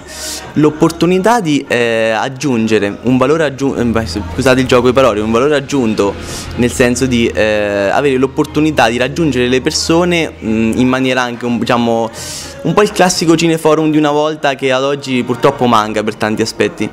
Per quindi avere l'occasione di una, prendere un argomento così particolare e riuscire a, ad unire sia una visione che è abbastanza un po' più diciamo, spensieriata, un po' più serena da questo punto di vista, sia un, eh, una sorta di dibattito, comunque di eh, discorso a riguardo, ci è sembrata un modo per per ricordare e commemorare senza però finire nel, in qualcosa che potesse essere troppo eh, gravoso o comunque che potesse eh, andare perso di significato. Ecco, per cui l'occasione è stata data in questa maniera, abbiamo trovato questa disponibilità nel, nel multiplex che ci ha dato questa opportunità di, creare, di portare avanti questa idea e abbiamo colto la palla al balzo perché comunque sembrava un modo molto sia sereno sia responsabile di portare avanti l'evento. Ecco. Questo tipo di progetto lo state promuovendo oppure lo promuoverete anche nelle vostre università che frequentate? Uh, io ho già sparso voce, di conseguenza... Ah, rinascita... scusami Francesco, rinascita sociale oppure il progetto del 27? No, rinascita sociale. Ah, sì, sì. Anche il progetto del 27, perché no? Vabbè, rinasce il progetto del 27, comunque sì, ho già diffuso la voce, ci sono diversi, diverse persone che verranno eh, dell'università, mentre per quanto riguarda rinascita sociale, in realtà a questa domanda non, non ho una risposta perché ci, sto, ci stiamo ancora pensando al riguardo se estenderlo fino all'università oppure no, perché sin dalla... cioè io sono molto interessato agli studi universitari universitari, attenzione, uh, la base de- del mio progetto culturale mh, mm, è molto difficile quello che ti sto per dire da, da farsi, era questo qui. Io sono partito dal presupposto che comunque il contenitore della cultura italiana, che il, la sua evoluzione è sta all'interno dell'università. Non so se sei d'accordo con me Francesco a riguardo. Sì, sì, abbastanza, sì. Eh, però il problema è che è sempre una cosa che rimane chiusa all'interno di se stessa, capito? Mm. Difficilmente viene portata fuori, perché è anche difficile renderla in qualche modo interessante per le persone che non sono abituate. Un conto mm. sono i studenti universitari che si informano, cercano, sì. perché comunque sia è anche il loro futuro lo devono fare. Certo. Però la cultura deve coinvolgere tutti quanti. E il, quello che io pensavo è proprio di voler eh, portare maggiormente fuori questa cosa, questa cultura universitaria dall'università e distribuirla in giro. E fortunatamente anche da questo punto di vista dico sono fortunato di essere anche membro di questi riflessi storici che penso che mi aiuteranno moltissimo perché sono ragazzi che estremamente studiano, sanno, mol- sanno moltissime cose e sono disposti anche a fare conferenze, interventi di qualsiasi tipo solo per il gusto di informare le persone. E questo qui è quello che spero di riuscire riuscire a fare con rinascita sociale, perlomeno a livello culturale. Qui abbiamo con voi questa sera eh, due amici che avete portato con, eh, con voi e che stanno ascoltando l'intervista. Pensate di provare a coinvolgerli nel progetto di rinascita sociale? Vabbè, noi cerchiamo di coinvolgere sempre tutti. Questi amici oggi, vabbè, stiamo. Cioè, ci seguono. Sì, ci seguono a livello di Facebook, a livello di. Anche di eventi. Sì, anche a livello di eventi. Infatti, mm, Costa, ad esempio, si è presentato a Amore Strofe, c'era. Quindi, niente. Costa, vuoi dire qualcosa riguardo all'evento di giovedì? Quello Sì, sì, se, se vuole il, eh, il microfono è aperto anche a lui. No, no, Mm, no, però eh, va bene, va bene, però insomma, stato, allora possiamo spiegare qual è stato il suo ruolo all'interno di questo progetto di Amore Strofe. Beh, eh, all'interno, sì, eh, lui è stato diciamo quello che ha montato le casse, quello che ha portato le sedi, è stato diciamo la presenza, cioè la mano d'opera in questo caso, ci ha dato una mano da quel punto di vista, ecco. Serve anche quello, prego. Ma diciamo in particolare che eh, le prime persone con cui siamo entrati in contatto con la nascita del progetto sono state naturalmente gli amici della vita quotidiana, persone a cui abbiamo potuto fare affidamento per tanti motivi, perché l'affidabilità è, soprattutto quando si parte con un progetto del genere, è, è uno dei principali punti fermi di cui abbiamo bisogno. Per cui diciamo che il sostegno che ci viene dato appunto dai, dai primi follower, che sarebbero fondamentalmente amici, è proprio il fatto di eh, di assisterci, darci una mano nel, nel pratico, nell'utile e comunque di portare avanti per cui non solo una diciamo è quella parte di, di seguito che va effettivamente a- ad essere più un appoggio che altro, quindi è proprio importante perché sono persone fidate e che diciamo pri- prima ancora di conoscere in nascita sociale abbiamo, con cui ci siamo relazionati. Per cui adesso eh, ovviamente è importante riuscire a estendere questo invito, questa partecipazione anche agli estranei, ma i primi numeri siamo, li abbiamo creati appunto con persone di cui fidate, quindi è un bel, un bel gruppo per quello, perché siamo circondati da persone che eh, non solo ci hanno conosciuto da un punto di vista professionale ma anche personale e quindi è diciamo, un rapporto di fiducia più stretto ecco, in questi contesti. Voi due e gli altri che fanno parte del direttivo principalmente, avete fatto parte di altre associazioni prima della creazione di Rinascita Sociale? E se sì, eh, quanto eh, vi ha potuto aiutare la, mh, quelle, qu- quanto vi hanno potuto aiutare quelle esperienze associative eh, nella creazione di Rinascita Sociale, se così vogliamo dire? Fai tu, io tanto solo riflesso. Ma eh, noi in realtà ci siamo conosciuti io e Eugenio eh, proprio con un gruppo di, il- appunto come dicevo prima, i, i ragazzi uniti con il no. Era un eh, gruppo per, eh, di opposizione al referendum, di- del no al referendum e mm, diciamo che abbiamo, abbiamo appreso alcune cose che ci hanno forse spinto ecco, alla creazione di un gruppo di questo, di questo tipo perché è stato chiaro fin da subito che in quel caso si parlava di referendum, quindi di una, eh, una cosa politica, di leggi, eccetera. Però a livello di informazione, in quel caso era in particolare il nostro target era i giovani, ora l'abbiamo un po' esteso, però purtroppo a livello di informazione generale c'era veramente difficoltà. Tantissime persone che ignoravano di cosa di ciò di cui si parlava, che non avevano un'informazione chiara, non avevano un'informazione pulita e quando ci siamo resi conto di questo eh, è chiaro che questa cosa era relativa al referendum ma è estesa a quasi ogni campo della vita attuale delle persone. Per cui renderci conto di questo ci ha dato quella spinta per dirci forse se questa cosa era vera in quel campo eh, sarebbe necessario un po' ampliare e occuparsi di una cosa un po' più generalizzata, un po' più generale per rendersi conto di quanta informazione sia ad oggi eh, alla portata di tutti ma allo stesso tempo lontana da tutti. Per cui riuscire a renderla un'informazione chiara è stato comunque uno degli, degli obiettivi principali da questo punto di vista per quando abbiamo deciso di creare il gruppo. Quindi diciamo che l'organizzare le- la situazione è stato, eh, diciamo più che un vantaggio nell'organizzare, è stato un vantaggio a livello di, di ideazione perché ci siamo resi conto che era qualcosa di importante e ci siamo resi conto grazie anche al lavoro svolto precedentemente, questo sì. Ah, vabbè, oltre il comitato del no sono d'accordo tutto, totalmente con Edoardo di quello che ha detto. Per quanto riguarda me, ecco, io parlo, cioè, faccio appunto parte di riflessi storici che si formerà domani, cioè beh, domani mi pare veramente senza scherzi, perché l'atto notarile verrà fatto domani e di conseguenza, mm, vabbè, non posso, sono due cose diverse. Rinascita sociale e riflessi storici sono due cose diverse che magari troveranno una loro collaborazione, magari no, non lo so. Però eh, sono due cose diverse, una si occupa di, proprio di saggistica appunto, mentre l'altra è la diffusione della cultura, quindi se le cose apparentemente sembrano correlate, però in realtà sono diverse. Ecco, è un po' difficile da spiegare quest'ultimo passaggio. Eh, e niente, così. Insomma, è questo il punto. Sì. Dove si riunisce di solito Rinascita Sociale? Almeno per ora dove sei riunita?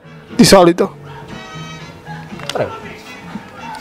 Eh, ma diciamo che andiamo un po' incontro alle esigenze diciamo, delle, del direttivo, nel senso che nel momento in, cioè non, abbiamo, non ci siamo dovuti ritrovare sempre una sede fissa, nel senso che magari avevamo una volta più comodità a trovarci da una parte perché magari una persona non, poteva, non aveva coincidenze tra autobus, una cosa o un'altra, quindi diciamo, a livello di direttivo siamo, andati, siamo venuti un, un incontro all'altro in base alle varie esigenze, quindi non abbiamo eh, non abbiamo fissato una sede fissa, siamo appunto regolati in base di volta in volta all'incontro, alla necessità. Abbiamo puntato sull'importanza di avere incontri eh, spesso, sulla diciamo, periodicità di questi incontri.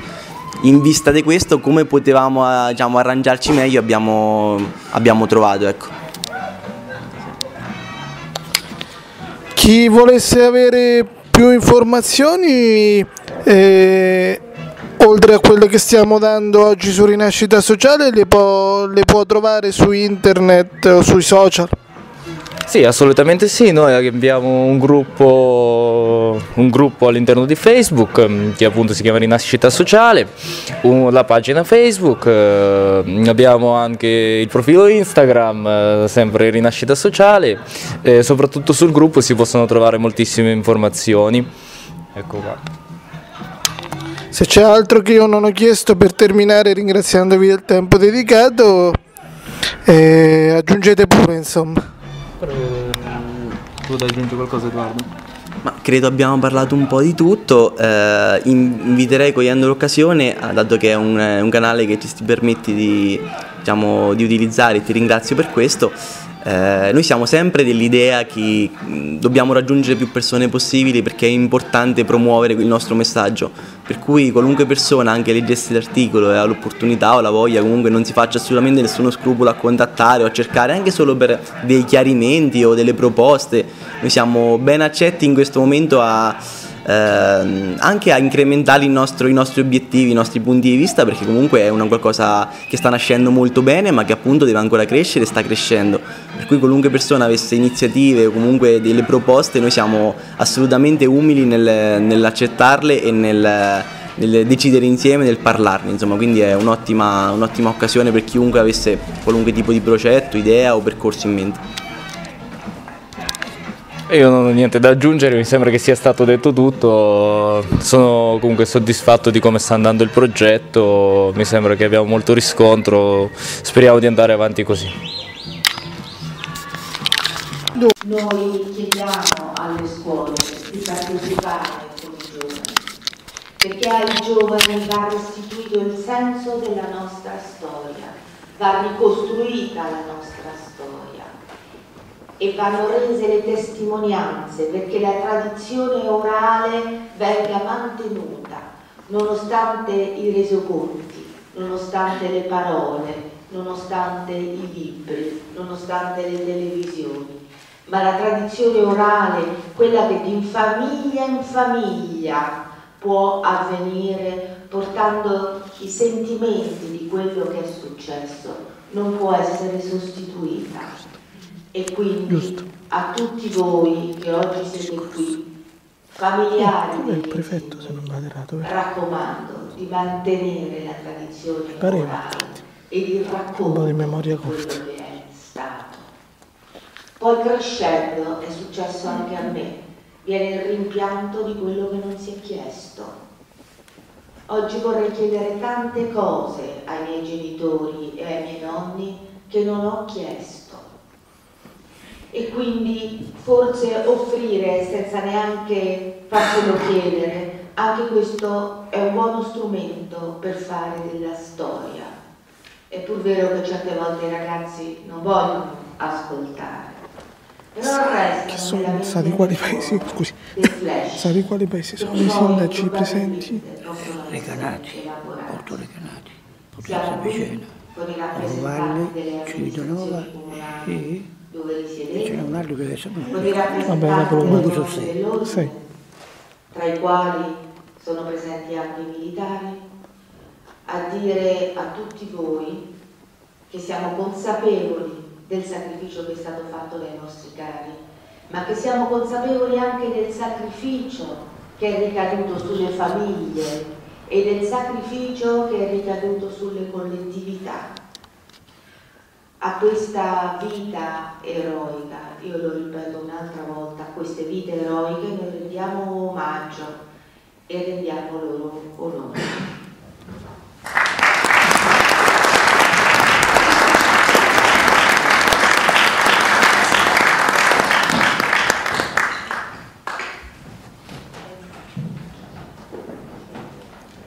Il prefetto di Macerata procede ora alla consegna delle medaglie d'onore. Invitiamo il sindaco del comune di Porto Recanati, il professor Roberto Mozzicafreddo, ad accompagnare il signor Lorenzo Galluzzo, che ritira la medaglia per il congiunto signor Egizio Osimani. Egiziano. Il Presidente della Repubblica, Sergio Mattarella, ha insignito della medaglia d'onore il signor egiziano Osimani, vivente. Il signor Osimani, nato a Camerano il 4 giugno 1922, fu arruolato in marina nel 1942. Catturato dai tedeschi a Corinto, in Grecia, il 9 settembre del 1943 fu deportato in Germania, dove fu avviato al lavoro quarto nella fabbrica Deutsche Nilse Ferke, che produceva torni, frese, utensili vari e munizioni. Fu rimpatriato il 17 settembre del 1945. Al ritorno in patria collaborò con il padre nell'attività di commercio ambulante. Successivamente ha lavorato nel settore delle voci per fisarmoniche, sino all'età della pensione. Consegna la medaglia il prefetto di Macerata. Ritira la medaglia il nipote, signor Galluzzo Lorenzo, accompagnato dal sindaco di Porto Recanati.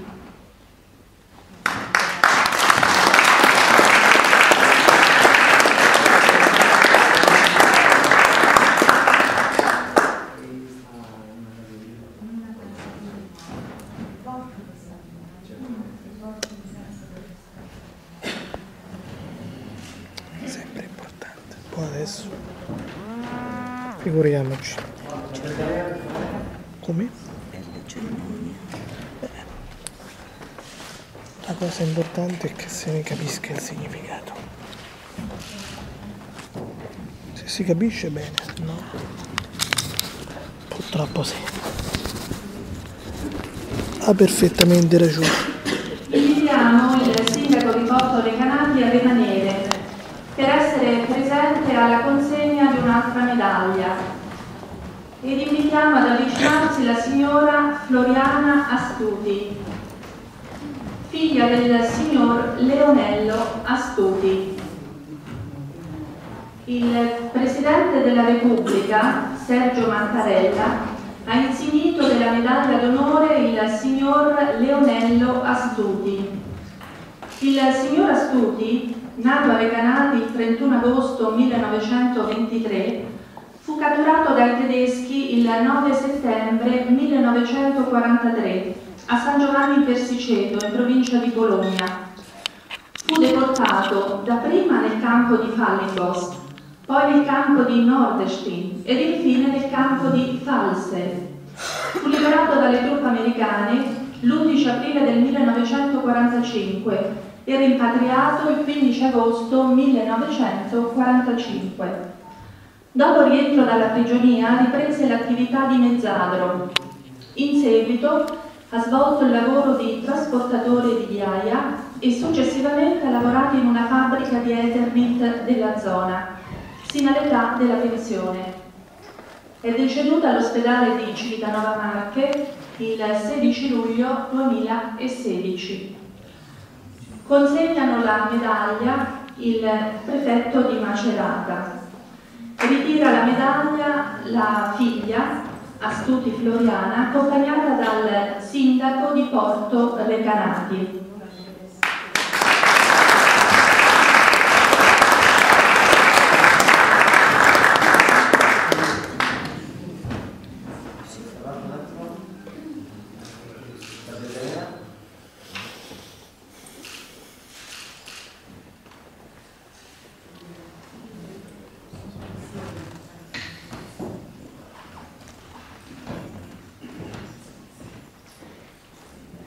Ringraziamo il sindaco di Porto Recanati ed invitiamo il vice sindaco di Macerata, dottoressa Stefania Monteverde, ad accompagnare la signora Elena Vannucci ed il signor Luigi Vannucci, che ritirano la medaglia per il congiunto signor Delio Di Pietro Vileggi.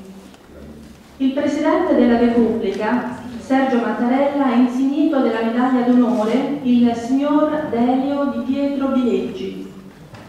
Il signor Vileggi, nato a Camerino l'8 febbraio 1918, prese parte nel mese di febbraio 1941 alla campagna di Russia, combattendo lungo il Medio Don come sottotenente di complemento nel secondo reggimento alpino divisione Vicenza Durante un'operazione di guerra riuscì a contenere eroicamente l'assalto nemico, sino all'esaurimento delle munizioni, e per questo fu decorato con medaglia d'argento al valor militare.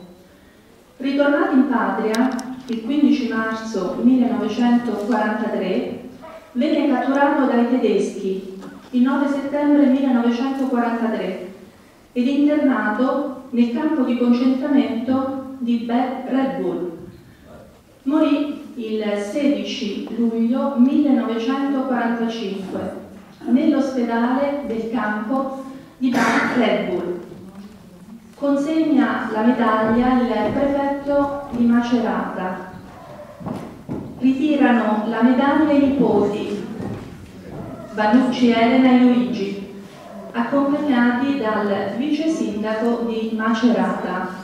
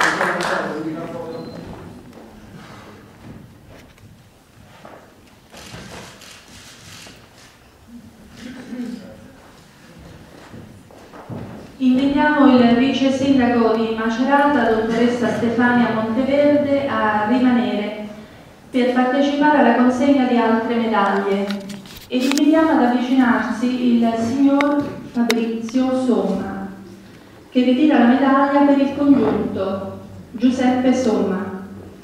Il Presidente della Repubblica, Sergio Mattarella, ha insignito della medaglia d'onore il signor Giuseppe Somma, deceduto nel 2004 all'età di 82 anni. Nato a Barletta il 12 ottobre 1922, fu catturato dai nazisti a Sedenico, nell'ex Jugoslavia, il 9 settembre 1943. Fu deportato in Germania nel campo di concentramento di Osnabrück, dove venne impiegato nella miniera di carbone in condizione di schiavitù per più di 12 ore giornaliere, sino alla liberazione, avvenuta il 3 settembre 1945.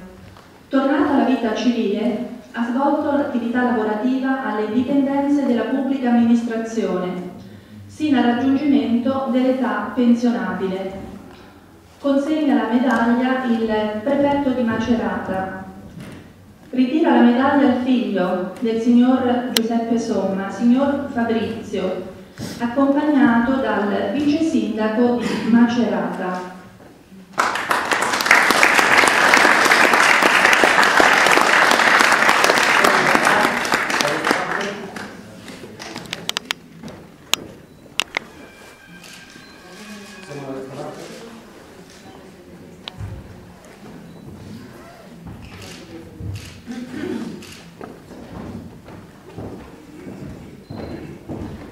Invitiamo ora ad avvicinarsi la signora Adelaide Picchio che ritira la prossima medaglia per il congiunto Luigi Tasso. Il Presidente della Repubblica, Sergio Mattarella, ha insignito della medaglia d'onore il signor Luigi Tasso. Il signor Tasso, nato a Macerata il 27 dicembre 1917, fu catturato dai tedeschi il 9 settembre 1943 in Grecia. Fu deportato nel campo di concentramento di Grossfule in Bassa Sassonia, dove morì il 12 marzo 1945. Consegna la medaglia il prefetto di Macerata. Ritira la medaglia la nipote del signor Luigi Tasso, signora Adelaide Picchio, accompagnata dal vice sindaco di Macerata.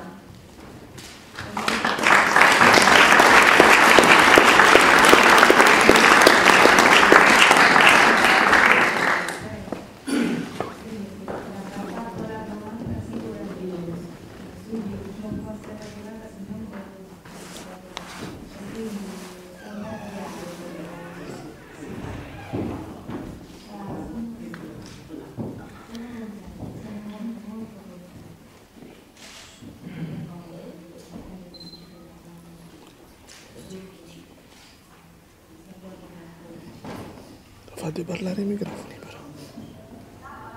Dopo fate parlare i microfoni però. perché-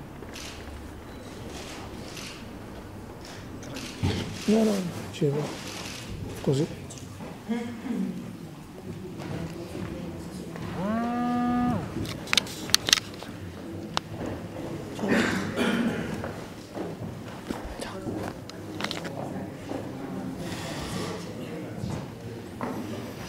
Ringraziamo il vice sindaco di Macerata ed invitiamo il sindaco di Morrovalle, avvocato Stefano Montemarani, ad accompagnare il signor Giovanni Ferretti, che ritira la medaglia per il congiunto signor Guerriero Ferretti. Il Presidente della Repubblica, Sergio Mattarella, ha insignito della medaglia d'onore il signor Guerriero Ferretti, venuto a mancare il 7 dicembre 1999.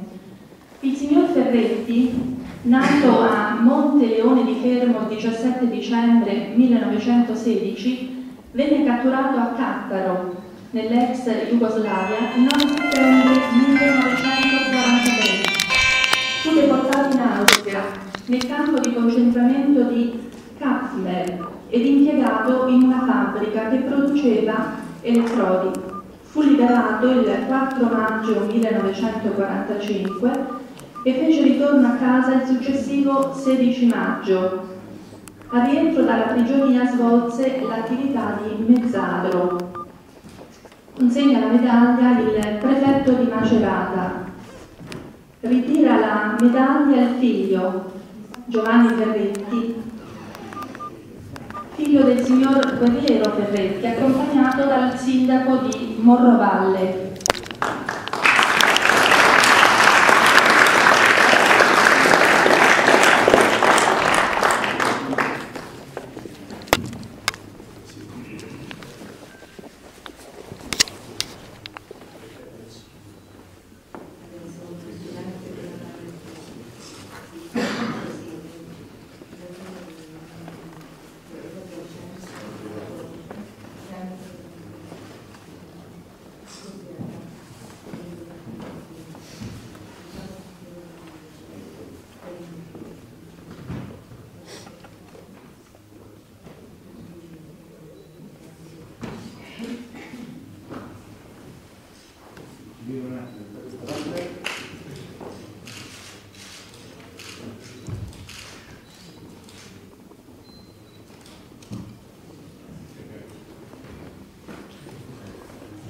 Ringraziamo il sindaco di Modovalle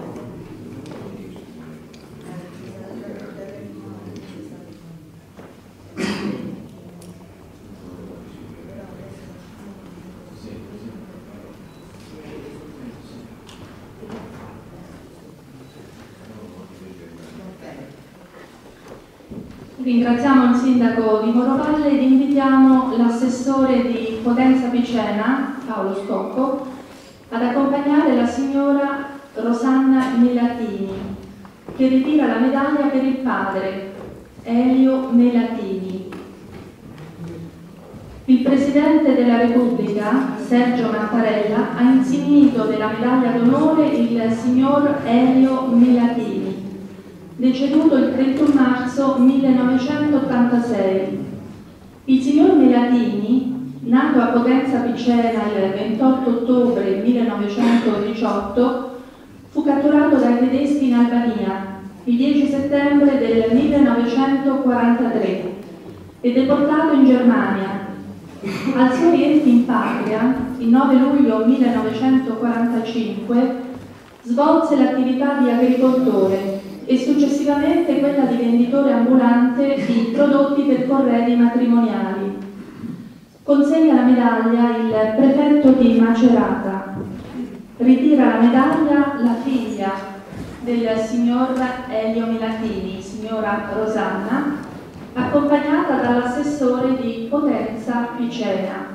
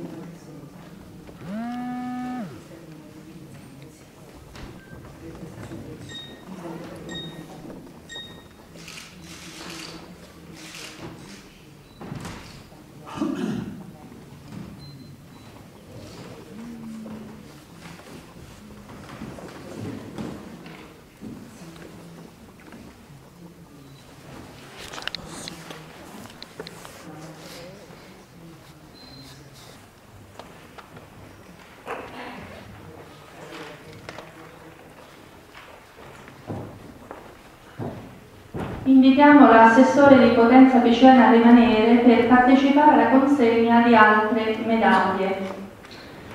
La prossima medaglia è stata conferita al signor Mario Onofri e verrà consegnata, su delega del figlio Oscar Onofri, al presidente dell'Associazione Bersaglieri di Potenza Picena e Montelupone, signor Silvano Rinaldelli. Il Presidente della Repubblica, Sergio Mattarella, ha insignito della medaglia d'onore il signor Mario Onofri, deceduto il 29 agosto 1982.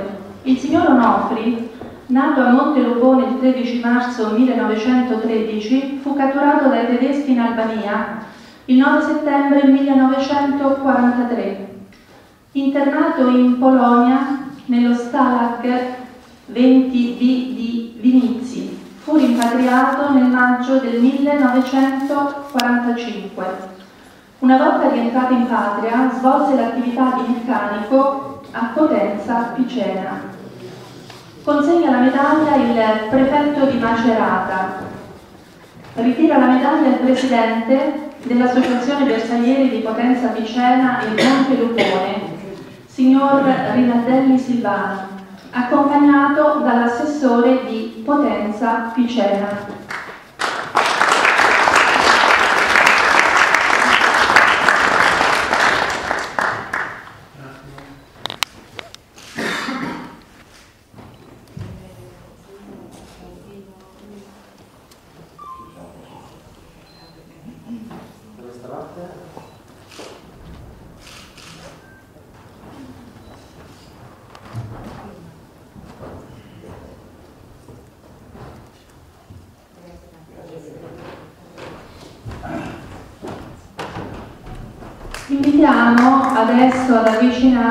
Il signor Virginio Pesaresi, che ritira la prossima medaglia per il padre, Luigi Pesaresi. Il Presidente della Repubblica, Sergio Mattarella, ha insignito della medaglia d'onore il signor Luigi Pesaresi. Il signor Pesaresi, nato a Potenza Picena il 14 novembre 1909, partì per l'Albania il 15 aprile 1943. Fu catturato dai tedeschi il 9 settembre 1943 e non fece più ritorno in patria. Consegna la medaglia il prefetto di Macerata. Ritira la medaglia il figlio del signor Luigi Pesaresi, signor Virginio, accompagnato dall'assessore del comune di Potenza Picena Paolo Scocco.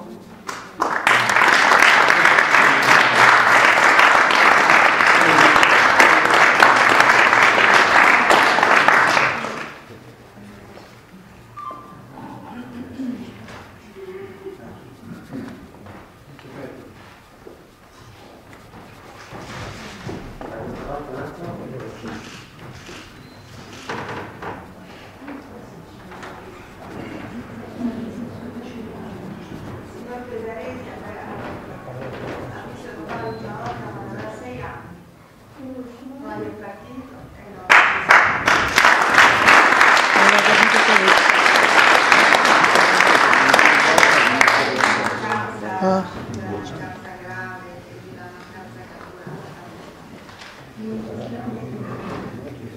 Ha fatto il bello quando conosce le braccia.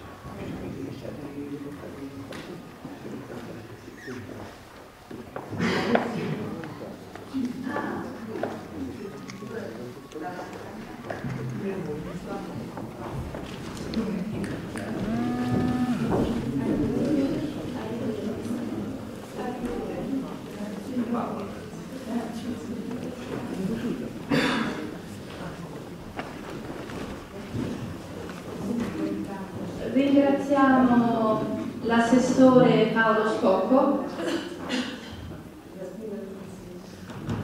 ed eh, invitiamo il sindaco di Recanati, signor Francesco Giordano, ad accompagnare la signora Graziella Moriconi, che ritira la medaglia per il congiunto, signor Giuseppe Moriconi.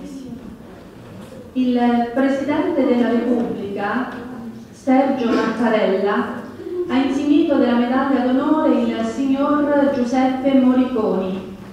Il signor Moriconi, nato a Recanati il 21 marzo 1913, fu catturato dai tedeschi sul fronte greco il 9 settembre 1943. Deportato in Germania, fu rimpatriato e fece quindi ritorno a Recanati l'8 agosto 1945, dove fu ricoverato in ospedale per le ferite riportate durante la prigionia. Morì a Recanati il 6 aprile 1946. Consegna la medaglia il signor prefetto di Macerata. Ritira la medaglia la figlia del signor Giuseppe Moriconi, signora Graziella, accompagnata dal sindaco di Recanati.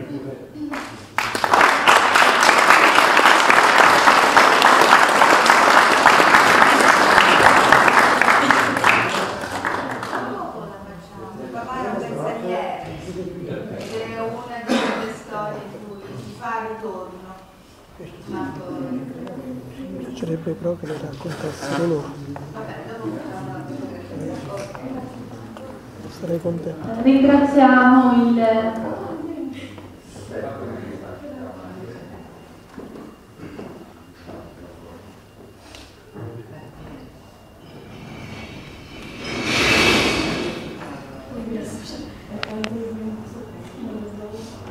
Ringraziamo il sindaco di Recanati ed eh, invitiamo ad avvicinarsi il sindaco di Civitanova Marche, dottor Tommaso Claudio Corvatta. Il Presidente della Repubblica, Sergio Mattarella, ha insignito della medaglia d'onore il signor Giuseppe Sopranzi, venuto a mancare nel mese di gennaio 2015.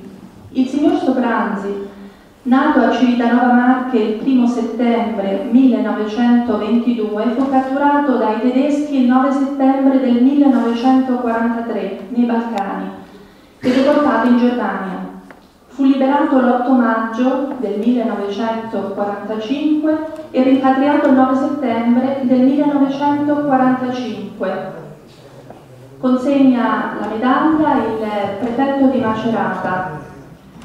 Ritira la medaglia su delega della nipote del signor Giuseppe Sopranzi, Paola Sopranzi, il sindaco di Civitanova Marche.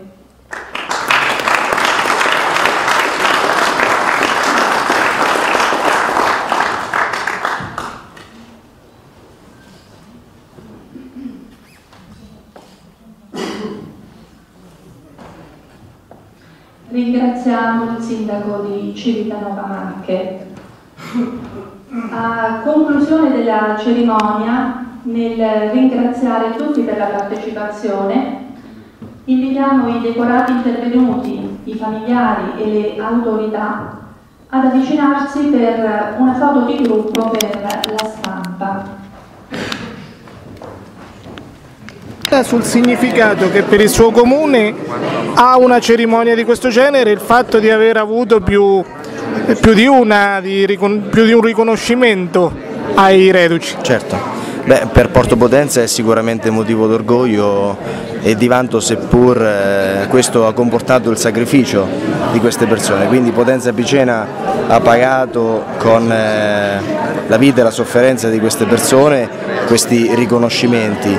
Questo ci fa per noi orgoglio ma è anche motivo, motivo di, di, sensibilizzazione per soprattutto come diceva la dottoressa Prefetto eh, per le nuove generazioni al rispetto di questa libertà che ci è stata donata dal sacrificio di queste persone che molto spesso viene un po' disatteso, però il nostro impegno è proprio quello di essere orgogliosi di Potenza Picena, soprattutto per questi figli che hanno sacrificato la loro vita per, per la patria e per la nazione Italia.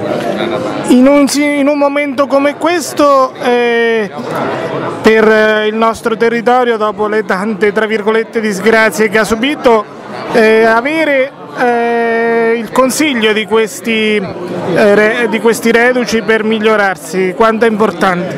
Assolutamente importante, anche perché in un momento come questo abbiamo scoperto che i veri eroi sono fra noi. Abbiamo visto in questi giorni che i veri eroi sono i vigili del fuoco, sono le persone comuni che hanno aiutato e per noi i nostri eroi sono le persone che abbiamo decorato oggi, che decoreremo ancora, che abbiamo già decorato negli anni passati, che hanno portato alto il valore di Potenza Picena e dell'Italia.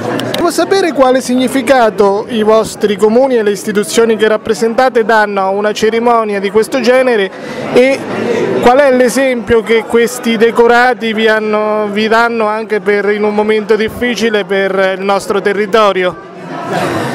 Guarda, è una cerimonia sicuramente importante a cui io partecipo ogni anno perché Morrovalle pur essendo all'epoca aveva solo 5.000 abitanti però abbiamo avuto molti deportati nei lager. E io ricordo da bambino le loro storie, quindi io da, le ho sentiti, ho sentito raccontare la storia de, della loro vita nei campi dalla loro voce. E l'esempio che ne possiamo trarre è secondo me questo, la loro straordinaria forza morale perché per resistere a un'esperienza come quella che hanno vissuto loro solo con una grande forza morale, con una grande tempra si poteva ricominciare. Poi sono rientrati nella vita normale e hanno contribuito allo sviluppo delle nostre comunità, quelli che sono sopravvissuti, a quelli che sono morti va un pensiero di, di cordoglio e di deferenza.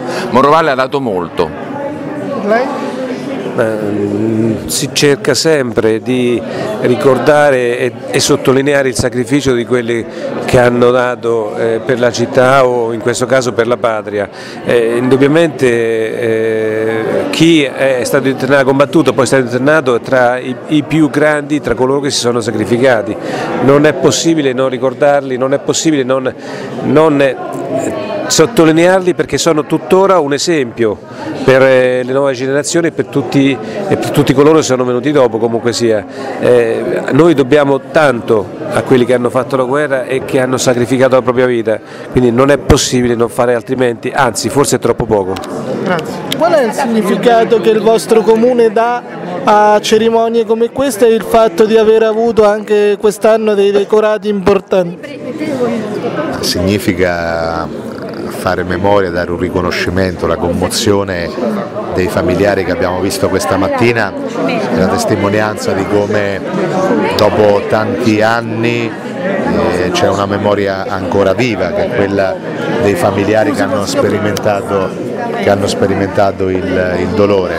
Quindi sono momenti importanti che hanno senso solo però se facciamo attività educative di coinvolgimento nelle scuole. Io prima di arrivare qui sono stato nelle nostre scuole per le letture di Primo Levi, c'è una staffetta partita stamattina che coinvolgerà l'intera città di Recanati nelle scuole, nelle botteghe, nelle fabbriche, nei centri d'aggregazione, nei campi sportivi. Oggi leggeremo Primo Levi per eh, riflettere insieme. Ecco, penso che questo sia un modo semplice, vero eh, sincero di coinvolgere di far ragionare sui valori del, dell'amicizia, del rispetto, eh, dello stare insieme, della pace.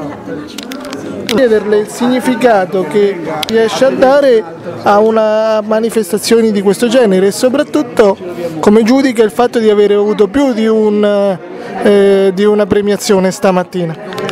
Allora, aver avuto più di una premiazione o avere comunque le premiazioni, mentre da una parte ci rincuora perché riconosciamo queste persone, da un'altra parte ovviamente è un lutto perché eh, evidentemente anche noi abbiamo persone che hanno sopportato quello che sappiamo, hanno sopportato tantissimi nostri connazionali.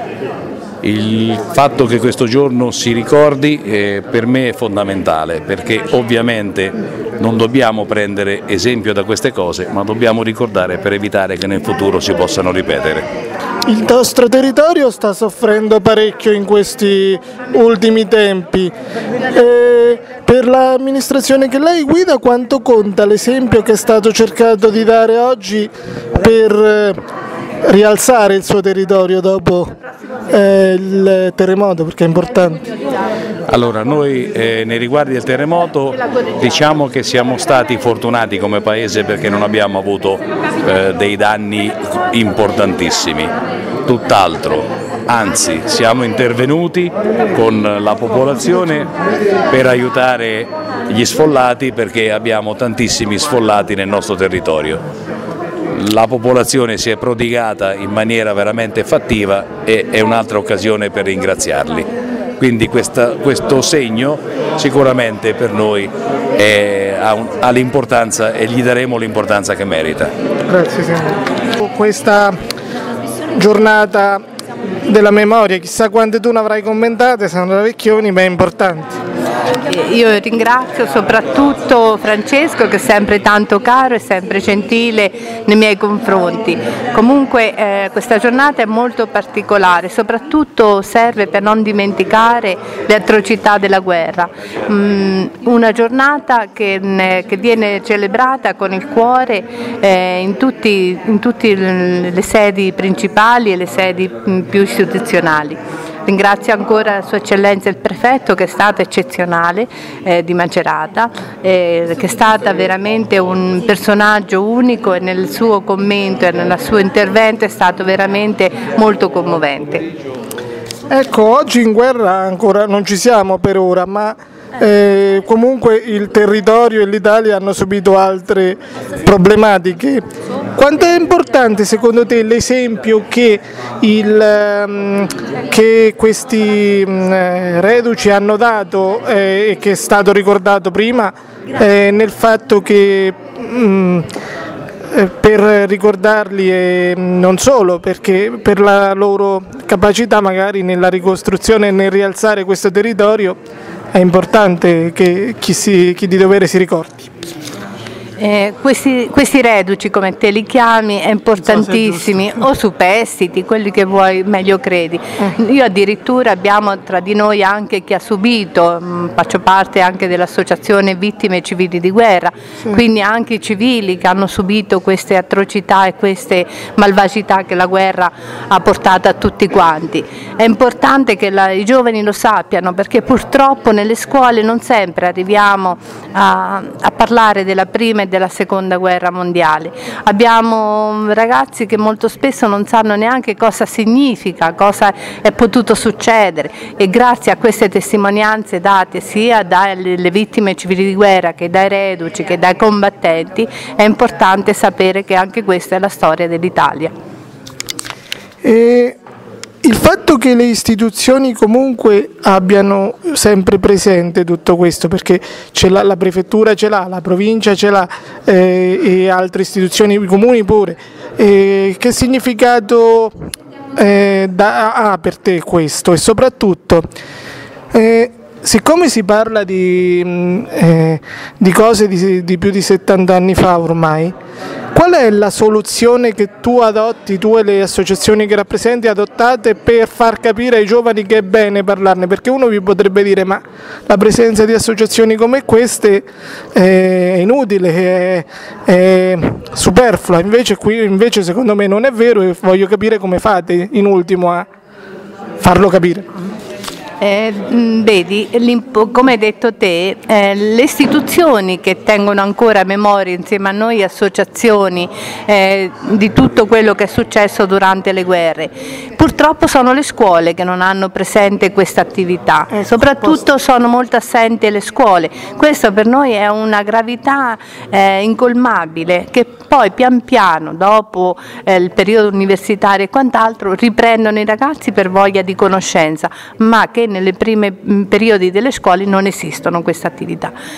Dicono che potrebbero, potrebbero, dire che siamo inutili, però non sempre, perché io vedo che quando avviciniamo i giovani, quando portiamo nelle scuole testimonianze di reduci e quant'altro, abbiamo avuto anche delle scuole dove i ragazzi vedendo dei film o delle diapositive che avevamo portate piangevano una cosa che veramente ci ha commosso e abbiamo capito che anche la gioventù ha questa voglia di conoscere, questa voglia di partecipare a questo grande lutto che è state le guerre, per non rifarle, per non ricadere sugli stessi errori.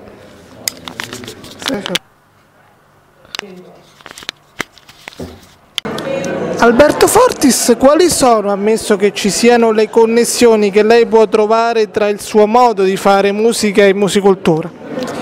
Ma naturalmente c'è, la connessione c'è, c'è un intendimento di, di sostanza, di possibile verità nel nome dell'arte e penso che tutte le edizioni di Musicultura dimostrino quello che è proprio questo, questo, cammino che oggi a mio parere diventa fondamentale nella musica eh, a 360 gradi, in questo caso poi parliamo di musica cantautorale, soprattutto per far capire a chi comincia questo lavoro che cos'è veramente la musica e cosa vuol dire fare il cantautore. Musicultura è musica ma anche libri, in che percentuale se così vogliamo dire la sua musica è ispirata ai libri che ha letto o che ha scritto? Beh, comunque, certo, eh, sono dei vasi comunicanti. Io eh, ho scritto e pubblicato anche tre libri, eh, due libri di poesie e la mia autobiografia, che è insomma, una testimonianza di tutto il percorso fatto tra Italia e estero, eccetera. Quindi si sa che oggi, se si vuole procedere nel mondo dell'arte eh, e della vita, la cultura è imprescindibile perché se poi una società non va bene perché non c'è una cultura di base, che sia una cultura naturalmente di, eh, che va dal nozionismo all'aspetto sociale, all'aspetto civico e soprattutto di capire le nostre radici perché è, è così che poi una, una nave può procedere e andare al prossimo porto. Ultima cosa, se lei dovesse fare un appello a, ai giovani e anche e ad altri colleghi eh, del mondo della musica a credere in questo progetto, che cosa direbbe? Direi che ci sarebbe davvero molto da fare e, e, e forse non sarebbe così difficile. Certamente è difficile, parlando con sincerità, creare la coalizione tra noi artisti. Questo è il grosso problema e quindi esprimere come si fa in un gruppo, in un, in un comitato, in un'associazione, in qualsiasi cosa che si unisca, una voce che eh, vada al di là poi di quelli che sono anche i sacrosanti interessi di ognuno di noi e di tutti, perché penso che le, i, i tempi oramai siano maturi, perché se no rischiamo di andare sempre di più nell'era degli orchi del Signore degli Anelli. Grazie. Avuto da questo progetto ambientale per far conoscere l'importanza della raccolta differenziata, se non ho capito male. Allora io adesso i risultati della campagna diciamo, di comunicazione non, non, non, si vedono subito da un giorno all'altro, bisogna vedere eh, da qui a un paio di mesi per capire un attimo se c'è stato un grado di eh, diciamo, sensibilizzazione riguardo alla tematica. Sicuramente l'iniziativa di oggi è stata, eh, oggi, di ieri e di oggi, ha come scopo quello di concludere questa campagna di comunicazione. E io spero che soprattutto oggi pomeriggio, col fatto che sia sabato, stiamo in centro storico, eppure il capodanno cinese, quindi attira già di per sé più persone, sia anche un momento per poter eh, interloquire con i cittadini, dare le informazioni giuste relativamente a tutte eh, le, la, la tematica della riduzione. E quindi soprattutto perché molto si parla, io questo lo voglio dire personalmente come responsabile del centro di educazione ambientale, molto si parla della raccolta differenziata, però è importante secondo me in un'ottica, in una strategia di riduzione dei rifiuti, quello della riduzione proprio del, dei, dei, rifiuti da parte di ogni cittadino, quindi cercare di capire e cercare di diminuire la quantità di immondizia che viene prodotta e allo stesso tempo il riuso, quindi centro di riuso, la possibilità di eh, utilizzare beni che che, che, che, invece non servono più a altri per evitare di riempire anche la discarica dei cingoli. In questo contesto sono rappresentati diversi ehm, enti ed associazioni che si occupano di, eh, di questa problematica. Vediamo quali sono. Allora, eh, a parte il comune di Macerata che diciamo, è l'ente promotore del, dell'iniziativa, c'è, la Cosmari come eh, gestore della, dei rifiuti nella, nel comune di Macerata, eh, poi c'è il, il, centro di riuso che è questo nuovo soggetto che è stato aperto a maggio dell'anno scorso, eh, che è gestito dalla cooperativa Risorse per quanto riguarda l'aspetto diciamo, pratico e gestionale e poi c'è il centro di educazione ambientale che si occupa eh, di sensibilizzare le nuove generazioni che è un po' diciamo, secondo me l'aspetto più importante per riuscire a ottenere risultati. Ecco, poi c'è anche un altro fatto, che ci sono anche scuole qui. Sì, c'è anche l'istituto IIS eh, Matteo Ricci che eh, già da un paio d'anni lavora su problematiche del, eh, della riduzione dei rifiuti e per questo infatti è voluto essere qui oggi con noi per presentare un po' tutto il lavoro che ha svolto nel, nell'arco di questi due anni e per promuovere un nuovo questionario sulla raccolta differenziata che, stanno, eh, che i ragazzi stanno facendo compilare un po' ai cittadini eh, che, che del, di Macerata insomma, che, che visitano il centro storico. Ci sono anche altri enti che stanno partecipando, vedo, che hanno volentieri appoggiato questa cosa. Come lo, lo ricevete questo segnale?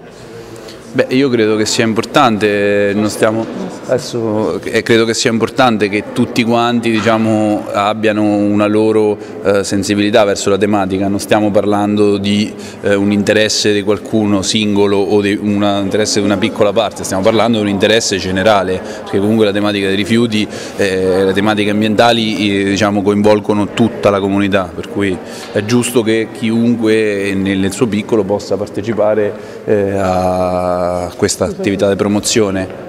Scusa Assessore, posso chiedere al volo... È lui il preposto. Certo, eh, infatti, infatti, volevo sapere al volo eh, se siete soddisfatti almeno dei risultati della prima giornata di questa due giorni di promozione della raccolta differenziata. Sì, siamo stati ieri, diciamo che è stata la prima mezza giornata perché abbiamo cominciato al pomeriggio, no? alle 4 io sono contento, mi sembra che il format della, di un'iniziativa di questo tipo sia ben costruito e che possa accogliere l'interesse dei cittadini.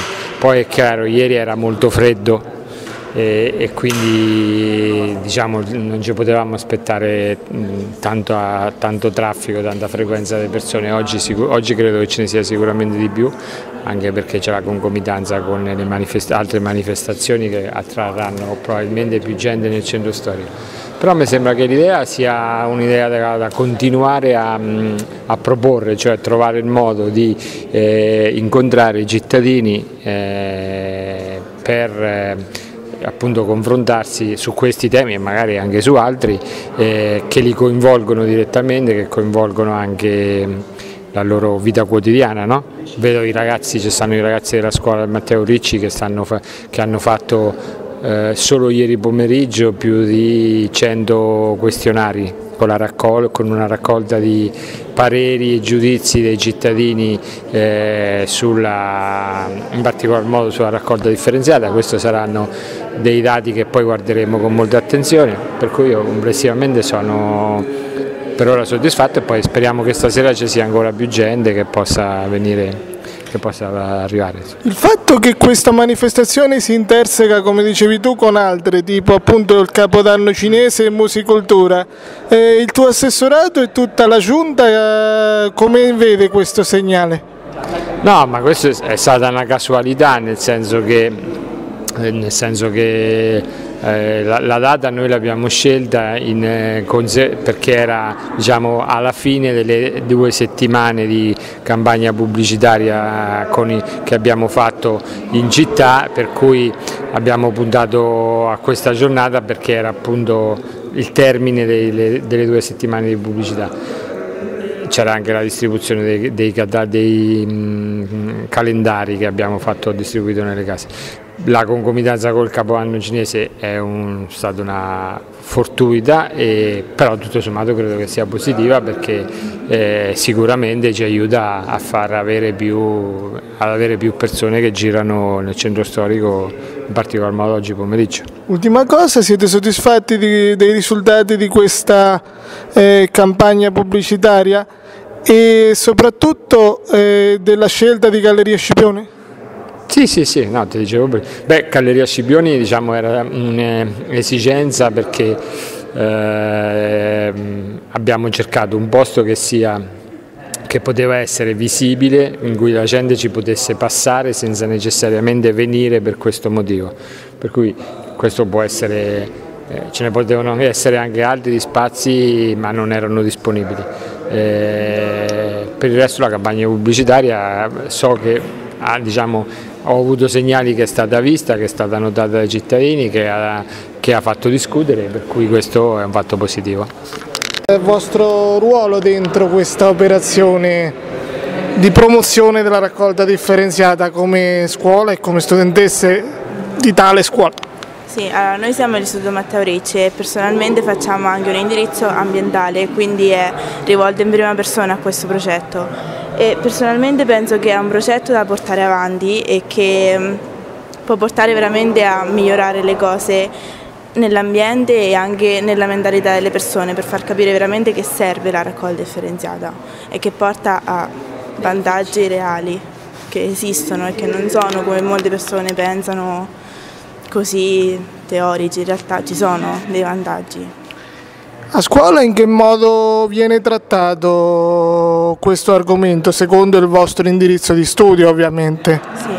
Ah, nostro, per quanto riguarda il nostro indirizzo di studio viene approfondito perché comunque sono stati anche fatti incontri con eh, il rappresentante della Cosmari eh, sia l'anno scorso che quest'anno, poi abbiamo dentro la scuola tutti i bidoni della raccolta differenziata, quindi anche noi del nostro indirizzo andiamo in giro per le classi a a promuovere questo progetto e quindi anche per sensibilizzare appunto tutti gli studenti della scuola e quindi è, è un buon progetto che stiamo cercando di portare avanti.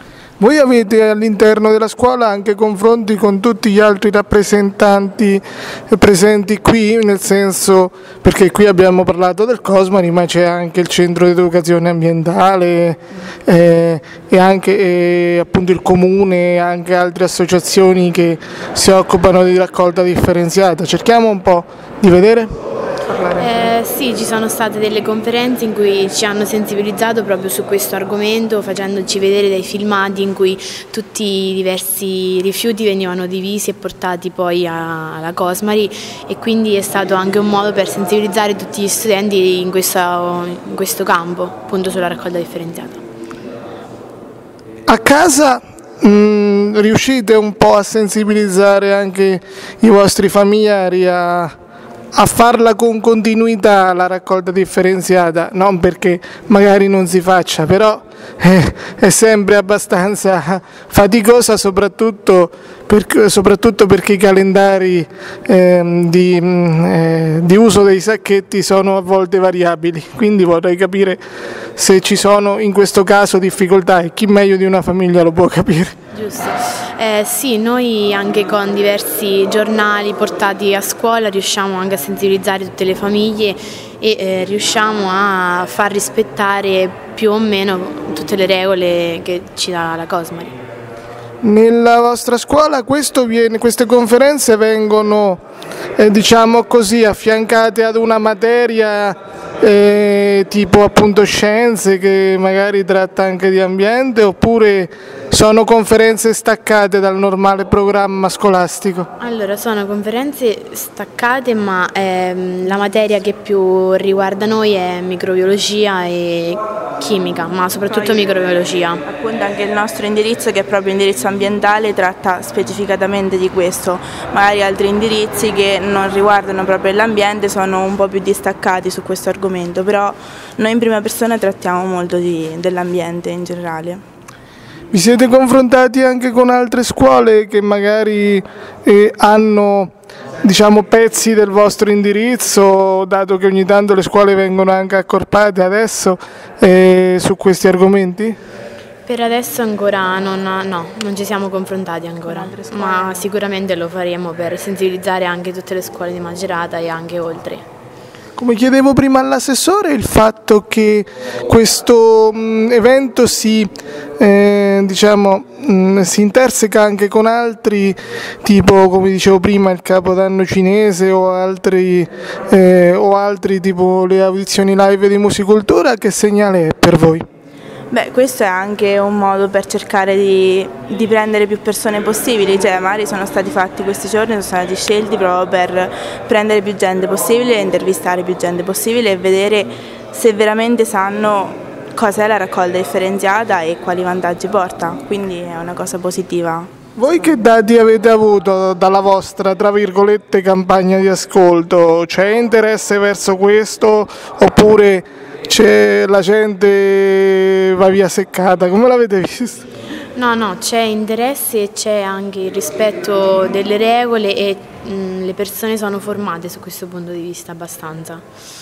E perlomeno qui in eh, provincia di Macerata, sì. ovviamente ci sono alcune persone che non sono così disponibili e magari non hanno voluto fare l'intervista, però ci sono opinioni contrastanti, alcuni magari pensano che la raccolta qui a Macerata percentuale sia più del 75, altri meno del 50, quando in realtà si aggira all'80%, quindi anche le persone non sono veramente informate, quindi questo è proprio lo scopo, informare le persone che in realtà qui a Macerata funziona la raccolta differenziata, è dell'80%.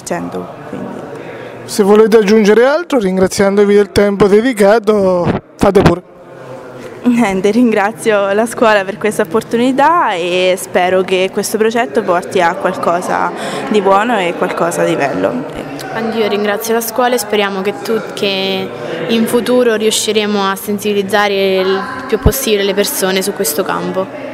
Una cosa vi prego. Eh, L'IS Matteo Ricci sta collaborando con questo progetto Differenziamoci con eh, il Comune stanno acquisendo de, dei questionari eh, de, tra i cittadini mageratesi E poi questi risultati di questi questionari saranno rielaborati a scuola con l'insegnante di matematica per cui c'è anche una interdisciplinarietà e i risultati di questi questionari saranno dati al comune e il comune li userà poi per migliorare eh, la raccolta differenziata tra i cittadini maceratesi. Beh, allora andiamo un attimo a cercare di capire quali sono le risultanze finora che da questi questionari sono uscite. Chi vuole rispondere di voi? Eh, quello che vi chiedono in particolar modo. Eh, è questo infatti. Um, allora, per eh, mh, che cosa va migliorato? Soprattutto l'informazione e il controllo delle regole perché si lamentano del, mh, cioè, dell'aspetto estetico in questo campo, quindi sacchetti lungo le strade, vicino alle abitazioni.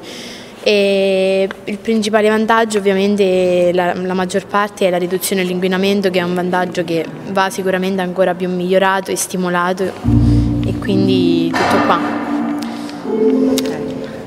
Eh, una ultima domanda, la scelta dei vostri rappresentanti qui in questa manifestazione come... Su qua- esatto, su quale, su quale base è avvenuta insomma? Allora, l'abbiamo fatto prima di tutto, eh, siccome eh, nella nostra scuola c'è un indirizzo ambientale e quindi una classe dell'indirizzo ambientale c'è perché mi sembra doveroso. Poi alcun- ci sono state delle classi che ci hanno proprio chiesto, vedendo la valenza di questo progetto, ci hanno proprio chiesto di partecipare, come ad esempio la terza S chimico-biologico.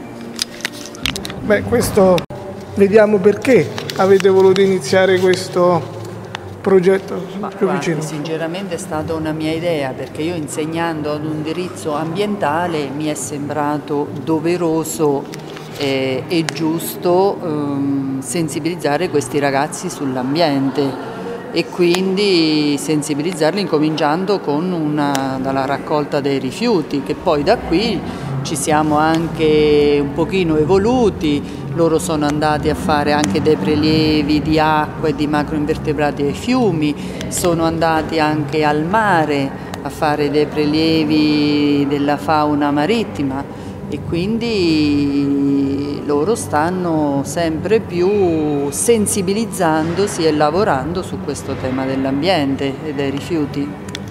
Quali sono stati i punti cardine che le hanno permesso eh, di far sì che questo progetto fosse accettato anche dal vostro dirigente scolastico facilmente, diciamo così? Beh, facilmente, sai, come si iniziano sempre le cose nuove, c'è sempre una parte di preparazione.